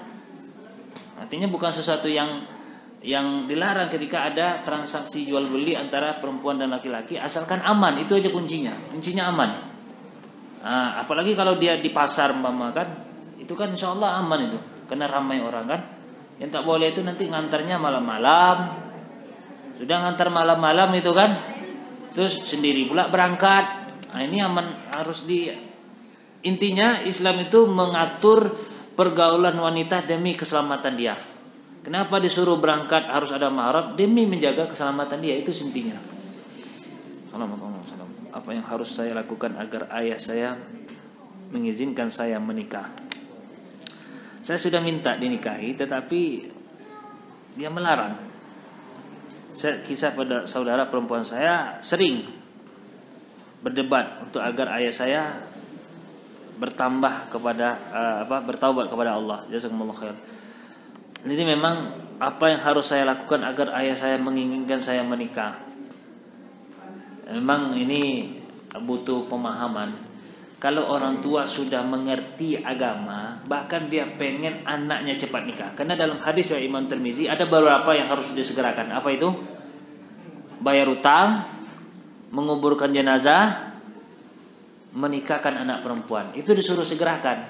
Maka tahapan sebenarnya harus bagaimana memasukkan ilmu kepada orang tua. Bagaimana orang tua itu bisa tahu karena orang kalau orang sudah tahu dia akan menyegerakan anaknya menikah itu sunnahnya kan begitu hadis Imam Tirmizi itu disegerakan menikahkan anak perempuan maka mungkin mereka ini nggak tahu nggak paham inilah akibatnya karena ketidakpahaman kadang suruhnya anak kuliah dulu suruhlah anak cari kerja dulu dan seterusnya macam-macam Padahal anaknya perempuan.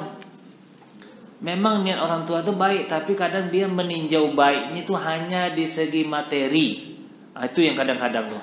Maka kalau tidak dibarengi dengan ilmu itu susah orang tua ini susah memahaminya. Maka tugas kita sekarang bagaimana pelan-pelan mengajak mereka untuk supaya mau belajar, mau tahu gitu kan. Sehingga insya Allah mereka paham. Nanti kalau mereka udah paham, justru mereka yang mencarikan, mereka yang ingin menyegerakan. Jadi nggak perlu harus tamat kuliah dulu nggak harus dapat kerja dulu dan seterusnya. Ini justru malah mendatangkan fitnah. Karena perempuan kalau udah tinggi level dapat laki yang taman SD jasad lah laki nanti. Iya, dia yang ngatur laki. Bukan banyak, bahkan ada film suami-suami takut istri. Itu memang diangkat, anak yakin dari realita yang ada itu. Emang ada yang istrinya jadi presiden. Ini memang rawan nih yang semacam ini nih. Makanya hati-hati itu. Allah Semoga Allah SWT melindungi Ustaz dan keluarga amin. Ustaz, bagaimana tafsir Al-Maun ayat 45 maka kalau masalah Al-Maun ana rasa kita masuklah setelah nantinya biar nanti enggak apa timpang tindih insyaallah itu kan. Surah Ali Imran ayat 31 dan peliharalah dirimu dari api neraka yang disediakan bagi orang-orang kafir. Itu lil lil kafirin. Baik, kalau Al-Maun insyaallah kita masuk kepada tahapan tafsir berikutnya. Tentang memelihara diri dari api neraka, apa yang dimaksud? Para ulama menjelaskan salah satu ayat juga disebutkan Ya ayyuhalladzina amanu anfusakum wa ahlikum nara. Hai orang beriman, jagalah dirimu dan keluargamu dari api neraka. Maksud menjaga diri dari api neraka adalah dengan beramal, menjaga keluarga dari api neraka dengan menasehati. Itu maksudnya. Jadi jagalah dirimu dari api neraka. Artinya apa? Beramal. Ber beramal. Mengikhlaskan diri kepada Allah Subhanahu wa taala, menjaga keluarga dari api neraka dengan menasihati. Mu'iddalil kafirin, neraka itu sudah jelas disediakan bagi orang-orang kafir. Artinya neraka itu sudah ada. Sudah ada, tinggal masuk aja lagi. Oke? Okay? Siapa yang mau daftar jangan sampai mendaftar. Karena masya Allah itu Baik, kita lanjutkan. Assalamualaikum warahmatullahi wabarakatuh. Apa apa benar jika seorang wanita atau lelaki apabila dia mendekati lawan jenisnya hati hatinya bergemetar? Oh, masya Allah ini tanya yang sudah pengalaman. yang jelas, akhwan sekalian bahwasanya Nabi melarang itu bersentuhan laki-laki perempuan apalagi masih muda itu kan apinya masih kuat sentrumnya tinggi itu harus hati-hati memang. Dia jelas itu nyentrum. Nggak ada nggak nyentrum itu, nyentrum karena positif negatif itu bahaya memang. Jadi jangan sampai itu uh, bersentuhan. Karena kalau sudah berdekatan makanya Nabi mengatakan kalau dua berdua, yang ketiga setan itu kan artinya memang rawan sekali kalau udah berdua itu apalagi udah bersentuhan gemetar kalau normal. Kalau nggak normal ya nggak akan bergetar dia artinya kalau mesinnya udah rusak itu nggak akan hidup-hidup Tapi kalau baterainya masih bagus itu ada apinya. Insya Allah. Jadi makanya memang hati-hati. Ya apakah ada kesentuhan? Itu jelas, itu jelas itu. Jangan sampai dicoba-coba lah. Karena kalau sudah tercoba itu rawan. Pada zaman siapa Islam ini jadi banyak firqah-firqah sesat? Yang jelas terjadinya itu sejak mulai pada zaman Utsman bin Affan uh, wafatnya uh, terbukanya fitnah itu ketika wafatnya Umar bin Khattab radhiyallahu an. Di situlah terbukanya fitnah. Maka pada saat Khalifah Utsman bin Affan mulailah terpecah. Lalu kemudian pada pemerintahan Ali bin Abi Thalib juga. Jadi intinya terbukanya fitnah mulainya pada pemerintahan Umar bin Khattab radhiyallahu anhu. Artinya meninggalnya beliau maksudnya. Ketika beliau meninggal, nah, di situ mulai terbuka fitnah. Maka sejak Utsman bin Affan menjadi khalifah, mulai terjadi apa? Kaum Khawarij. Nah, mulai pula menjadi Syiah, mulai-mulai sampai sekarang ini. Sekarang udah banyak lagi itu. Atau sebab perpecahan golongan tersebut disebabkan apa? Ya sebab perpecahan sebab perpecahan karena mereka lari dari hukum Allah, itu sebabnya. At-tahkim itu mereka ingin diadili yang membunuh Utsman bin Affan mereka mengangkat Quran itu ingin mentakib karena mereka keluar dari pemerintahan khalifah keluar dari pemimpin. Jadi intinya sebab pertama karena mereka keluar dari syariat Islam keluar dari hukum Islam. Itu penyebabnya. Salah satunya dibuktikan apa? Keluarnya mereka dari pemimpin mereka. Keluarnya mereka dari pemimpin mereka. Keluar dari pemimpin bertentangan dengan syariat. Maka di situlah penyebab terbukanya fitnah. Allah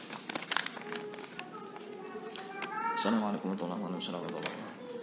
Dulu anak tinggal bersama teman, namun sekarang teman anak sudah menikah, tapi anak tetap tinggal bersama teman anak itu. Dikarenakan suaminya kerja jauh, Ustaz. Namun ketika suaminya dapat cuti pulang, jadinya satu rumah dengan suaminya. Kalau perlu minta dinikahi aja langsung. Serius. Bagus. Bagus itu. Gak apa-apa. Jadinya satu rumah. Jadi anda berikan solusi kepada yang seperti ini, minta dinikahi aja langsung. Jadi aman, insya Allah tidak masalah. Ya kan? Lebih aman, insya Allah. Ya, kalau tidak menikah, lebih baik cari rumah kos. Jangan sampai, bukan lebih baik, harus cari rumah kos. Harus, kalau tak mau menikah. Tapi kalau kalau mau, mau tetap juga kena akrab sama teman, ya udah Gini aja kawan itu. Kita kan akrab. Gimana kalau kita berdua aja langsung? Lebih aman. Kalau kayak gini kan nggak aman. Nanti suaminya pulang, kita di kamar belakang, eh, istrinya kamar depan. Hati-hati, setan tuh pandai dia. Pandai, apalagi kalau masih muda. Kita masih gadis mah. Udah jelas, nggak usah. Lebih baik, lebih baik tinggal. Lebih baik apa? Cari rumah kos. Ini ini tidak selamat nih. Tidak akan selamat. Wallahu Kalau seperti ini memang rawan ini dan itu memang tidak boleh emang kalau seperti itu. Udah udah apa? Carilah yang aman-aman insyaallah jika sembelihan tidak menghadap kiblat bagaimana Ustaz? Memang kita disunnahkan menghadap kiblat. Disunahkan memang menghadap kiblat. Apakah umpamanya sembelihannya itu umpamanya menjadi haram? Tidak ada nas yang mengatakan disebabkan haram gara-gara umpamanya tidak menghadap kiblat. Allah alam. Tidak ada tapi yang diharapkan apabila tidak menyebut nama Allah. Tapi kalau hanya tidak menghadap kiblat, insya Allah belum ada nas yang mengharamkan. Ini yang anda tahu. Allah alam. Bagaimana jika membeli mobil surat sebelah? Maksudnya apa tuh?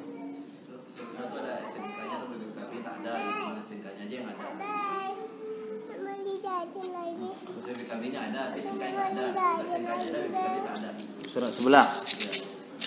Intinya kalau sama pemiliknya nggak masalah karena kan STNK BPKB itu kan administrasi negara. Artinya kalau dibawa kepada hukum, umpamanya anggaplah kalau undang-undang lama kan undang-undang jadul mungkin BPKB jangan harap ada. Jadi nanti kalau memang umpamanya BPKB nggak ada STNK nggak memang udah jadul umpama kan. Nah, kita yakin memang milik dia, itu nggak masalah. Tapi yang kita khawatirkan ini kan bukan milik dia maka lebih aman ikuti prosedur yang dibuat oleh pemerintah itu ada BPKB ada STNK itu kan nah kalau memang itu intinya kan sama pemilik itu intinya ini memang milik dia, ini milik kita. Memang kalau intinya sudah langsung kepada pemiliknya itu tidak masalah. Itu kan soal administrasi saja demi keamanan kita. Kalau tidak ada STNK nanti kan khawatir Honda curian, nggak ada PKB mah. Kan kita yang apa? Maka ketika itu dibuat oleh pemerintah, bahwa dalam hal ini mungkin polisi atau dinas perhubungan, bahwa kan itu demi keamanan kita sebenarnya. Tapi kalau dibawa kepada hukum, dibawa ke hukum syariat, memang itu tidak masuk kepada bab harus harus ada ini dan itu tidak. Yang intinya adalah ada barang, ada penjual, ada pembeli yang dijual ini memang barang dia, jelas akadnya udah tidak masalah. Masalah surat menyunat administrasi itu demi kebaikan kita itu diikuti saja lebih aman. Bagaimana tentang membayar pajak? Kalau masalah pajak ini mungkin antum udah paham. Ya kan? Kalau soal pajak insya Allah antum udah paham lah. Oke, karena kalau Islam itu tidak uh, ada pajak kalau dibawa kepada negara Islam, hukum Islam, eh, yang pajak itu kan bukan Islam. Artinya Islam itu sudah ada zakat. Sudah ada zakat. Jadi dengan istilah pajak mungkin tidak usah kita bahas. Ini intinya memang kalau dibawa kepada hukum Islam untuk orang Islam itu untuk apa tidak ada pajak. Oke? Bismillah, bagaimana cara bertaaruf di kajian ini Ustaz. Jadi siapa? Tidak apa-apa, memang bagus ini. Eh, artinya memang nggak apa-apa. Ini kita ini sudah ta'aruf nih. Sudah ta'aruf. Nggak apa-apa. Nanti kalau perlu habis ini makan bersama itu kan? Tapi kalau dengan yang di dalam tirai nah itu nanti dulu. Yang yang mau serius saja tapi kamu sama kita nggak apa-apa. Gampang aja. Eh kayak mahal khair alhamdulillah min aina jita. Udah selesai. Taruh itu kan. Tapi kalau yang di bawah itu khususon tuh. Khususon. Yang mau serius saja tuh. Apakah lalai dalam sholat itu termasuk syirik?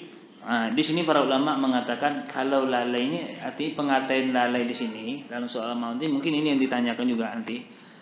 Lalai di situ kalau dia memang e, mengatakan lalai orang yang menunggu waktu sholat sampai datang waktu sholat berikutnya. Makanya kita lihat kondisi dulu ini. Tidak bisa juga kita hakimi sampai masuk umpama sholat zuhur sampai waktu asar. Lihat dulu kondisinya. Kalau dia sabar nggak masalah juga.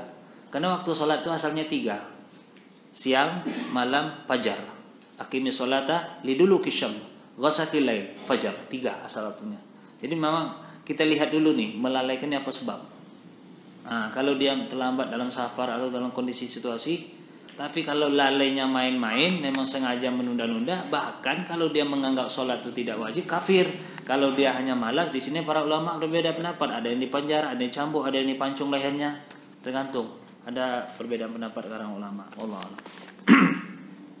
apa tafsir surah Ali Imran ayat 19? Jazakumullah khair. Ayat 19 itu apa bunyinya itu? Ya ayyuhallazina amanu Coba bacakan ayat 19 Anda lupa nomor ayatnya. Bukan awal-awalnya dulu. Apakah dengan adanya bisikan ketika bisikan ketika sholat dari syaitan kita termasuk kepada diri kita bermaksiat kepada diri sendiri dengan terfikir akan tidak yakin akan nabi atau bisikan syaitan tapi hati akan hati tapi hati nurani menolak apakah kita telah kufur hati ini?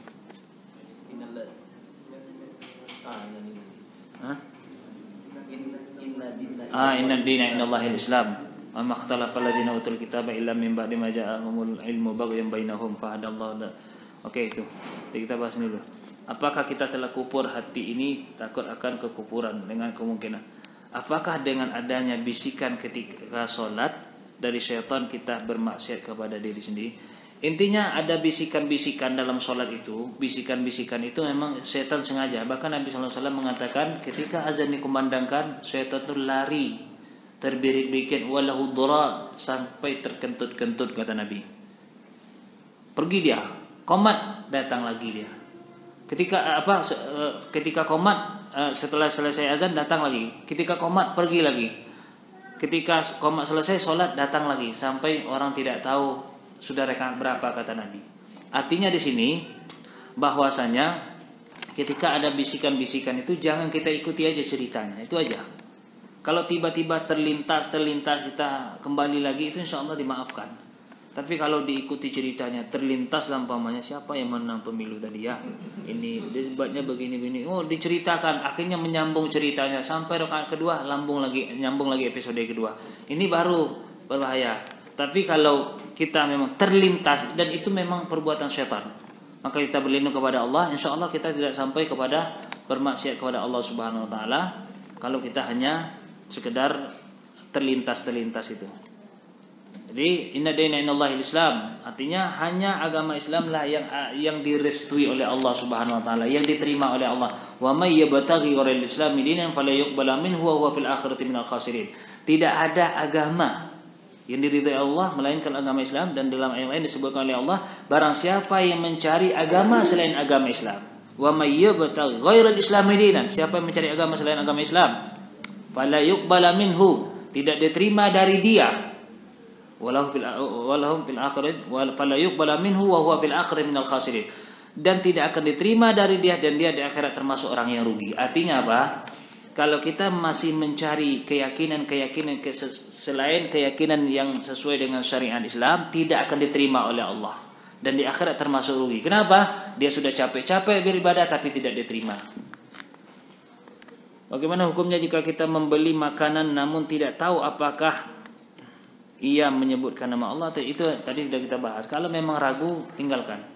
Kalau tidak ada label halal, tapi kalau sudah ada label halal dari MUI, sekalipun kita ternyata itu tidak juga baca bismillah, berarti kita sudah bebas dari hukum. Kenapa? Kita hanya menghukumi yang zahir, yang tidak zahir tidak. Artinya sesuatu yang apa tidak. Cuman kalau kita ragu, kalau kira-kira ini uh, dikhawatirkan kehalalannya atau diragukan kehalalannya sudah tinggalkan. Itu lebih baik. Syubhat itu lebih baik. Menghindari syubhat itu lebih lebih baik. Allah Assalamualaikum warahmatullahi wabarakatuh. Bagaimana sikap kita terhadap teman yang acuh tak acuh kepada kita? Nabi SAW silman qata'aka wa a'ti man mana'aka wa apu amman zalamaka Jalin silaturahim kepada orang yang memutuskan hubungan denganmu, maafkan orang yang menzalimimu, berikan orang yang bakhil denganmu. Nah, selesai. Berarti kalau dia acuh tak acuh kita tetap kefahal khair khair umpamakan tetap kita dengan muka senyum dengan dia. Kalaupun dia yang memutuskan itu urusan dia. Yang penting sekarang kita sudah berusaha. Maka sekali-kali ajak dia makan, beri. Karena orang kadang-kadang ketika dia beri, dia hatinya akan baik akan luntur, akan sayang dia jadinya. Tapi kalau kita ada orang benci sama kita, terus kita semakin benci, itu semakin menjauh dia. Tapi bagaimana kita merapatkan kembali dia? Apakah fungsi akal menurut Al-Quran dan As-Sunnah? Akal untuk memahami dalil. Akal gunanya untuk memahami dalil. Bukan akal dijadikan sebagai dalil utama. Jadi kalau ada dalil untuk kita memahami dalil itu kita gunakan akal dan inilah syarat kita menjadikan mukallaf menjadi mendapatkan beban dari Allah. Kalau akal ini rusak maka kita sudah terbebas dari hukum Allah Subhanahu wa taala. Makanya balik akil. Bagaimana langkah-langkah setan dalam menyesatkan manusia Ustaz? Ini cukup pembahasannya uh, cukup panjang bagaimana langkah-langkah setan. Yang jelas disebutkan dia akan datang dari depan, dari belakang, dari kanan, dari kiri. Apa dari depan dari kanan dari kiri? Insyaallah ingatkan di bab khusus. Artinya satu pertemuan lah insyaallah. Karena apa yang dimaksud dari depan apa yang dimaksud dari belakang apa yang dimaksud dari kanan dari kiri dan dari mana yang dia tidak bisa insyaallah kita bahas di bab pertemuan khusus. Satu pertemuan lah insyaallah. Ada seorang seorang maling di kampung A maling tersebut mencuri kambing supaya kambing tidak berteriak dan berontak. Maling tersebut menyembelih kambing tersebut. Terlebih dahulu, apakah daging kambing tersebut halal untuk dimakan? Kalau hasil curian haram sudah. Hasil curian haram. Intinya hasil curian haram. Walaupun dia menyebut nama Allah, tapi kalau dia mencuri dia, ah, ah, kalau nggak tahu dimaafkan. Ah, kalau kita nggak tahu dimaafkan. Kadang-kadang kan nggak tahu dia curi di kambing kandang kambing dibawanya ke dari pasar jualnya bisa saja. Atau ada orang nahan nahan jerat kijang dapat rusak. Jerat orang nih orang tuh nggak tahu orang pemilik jeratnya nih. Diambilnya kijang tuh dibawa ke pasar. Ada kadang macam tuh. Intinya kalau kita nggak tahu insya Allah dimaafkan.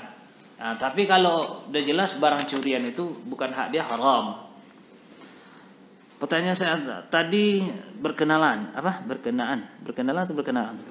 Berkenaan dengan ke, keindahan. Uh, ada seorang yang ditanya soal musik.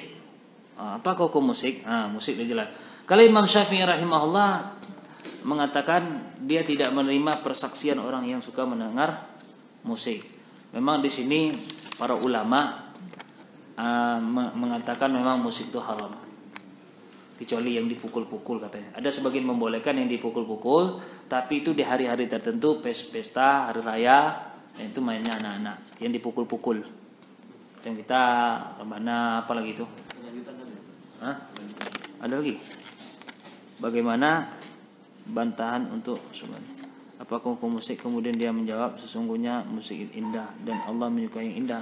Nggak nyambung. Allah menyukai indah, musik itu indah indahnya ini kan indah relatif atau indah apa gitu.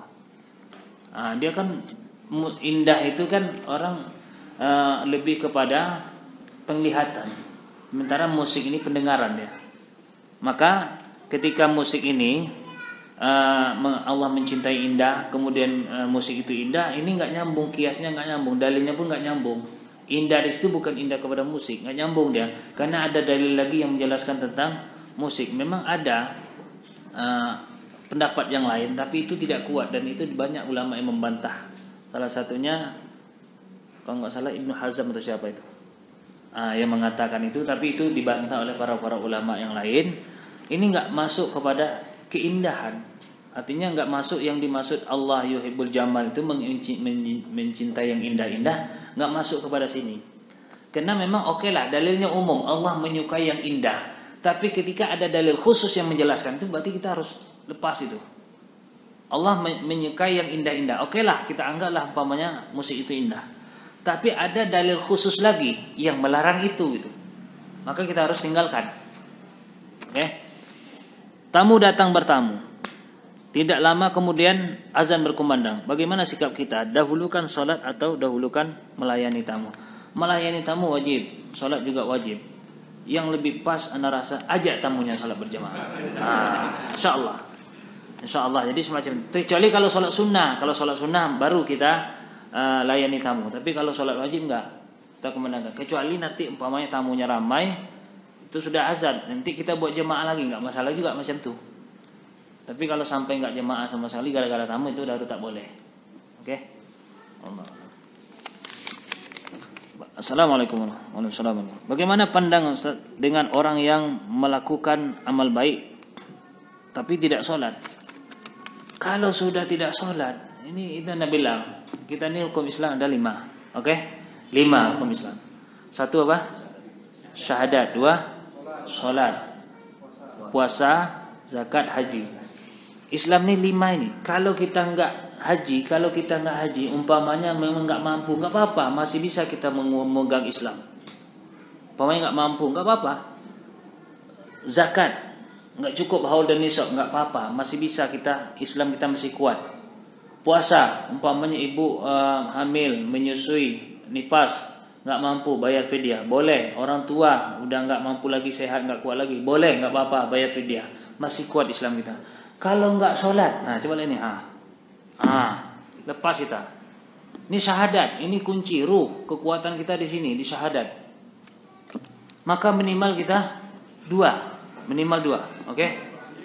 Minimal ini, ini bukan perbohong pak, pula nih. Tidak maksudnya kali ini kan kekuatan kita ini di sini. Kalau udah ini nggak udah lepas dua ini ya nggak bisa lagi. Kali deh kalau haji kan nggak mampu kita, insya Allah masih kuat Islam kita. Zakat nggak mampu kita masih kuat insya Allah.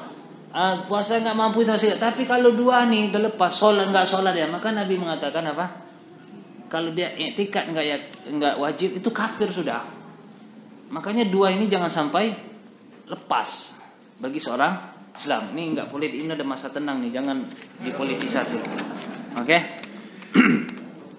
Apakah setiap uh, setiap Allah memberikan musibah tandanya Allah memberikan azab teguran kepada Jadi kalau ada musibah ada tiga Kalau kita mendapatkan sesuatu bisa bisa azab, bisa teguran, bisa ujian.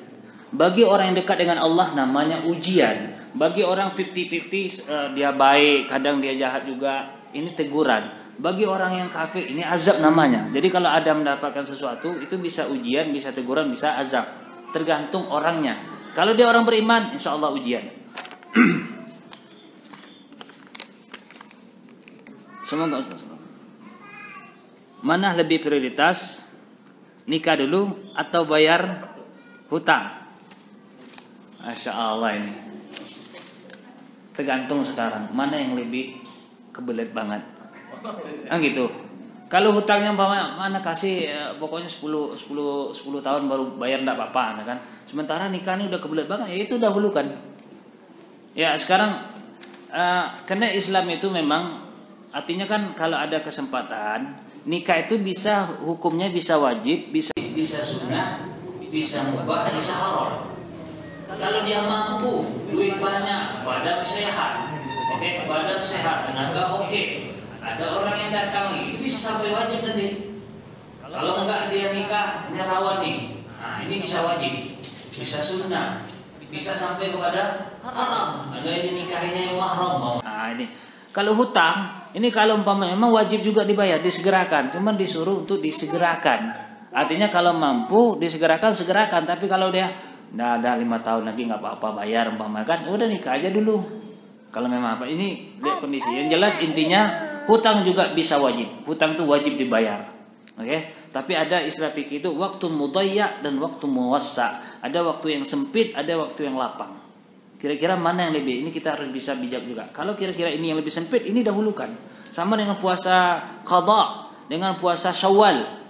Karena kalau lebih utamakan pasti kodok yang lebih utama. Ini itu wajib. Tapi karena kodok waktunya muasa, waktunya panjang 11 bulan, sementara yang Syawal ini waktunya sempit, maka ini lebih diutamakan. Kalau melihat dari pada, makanya kita harus melihat segala sisi dulu. Allah alam. Oke? Okay? Baik insyaallah mudah-mudahan ada manfaatnya dan mudah-mudahan ini menjelang Ramadan ya terakhir ya. Bulan puasa berarti ada kajian lagi? Oh, badai. Oke, insyaallah. Mudah-mudahan insyaallah ada manfaatnya. Subhanakallah wa bihamdika asyhadu an la ilaha illa anta astaghfiruka wa. Assalamualaikum warahmatullahi wabarakatuh.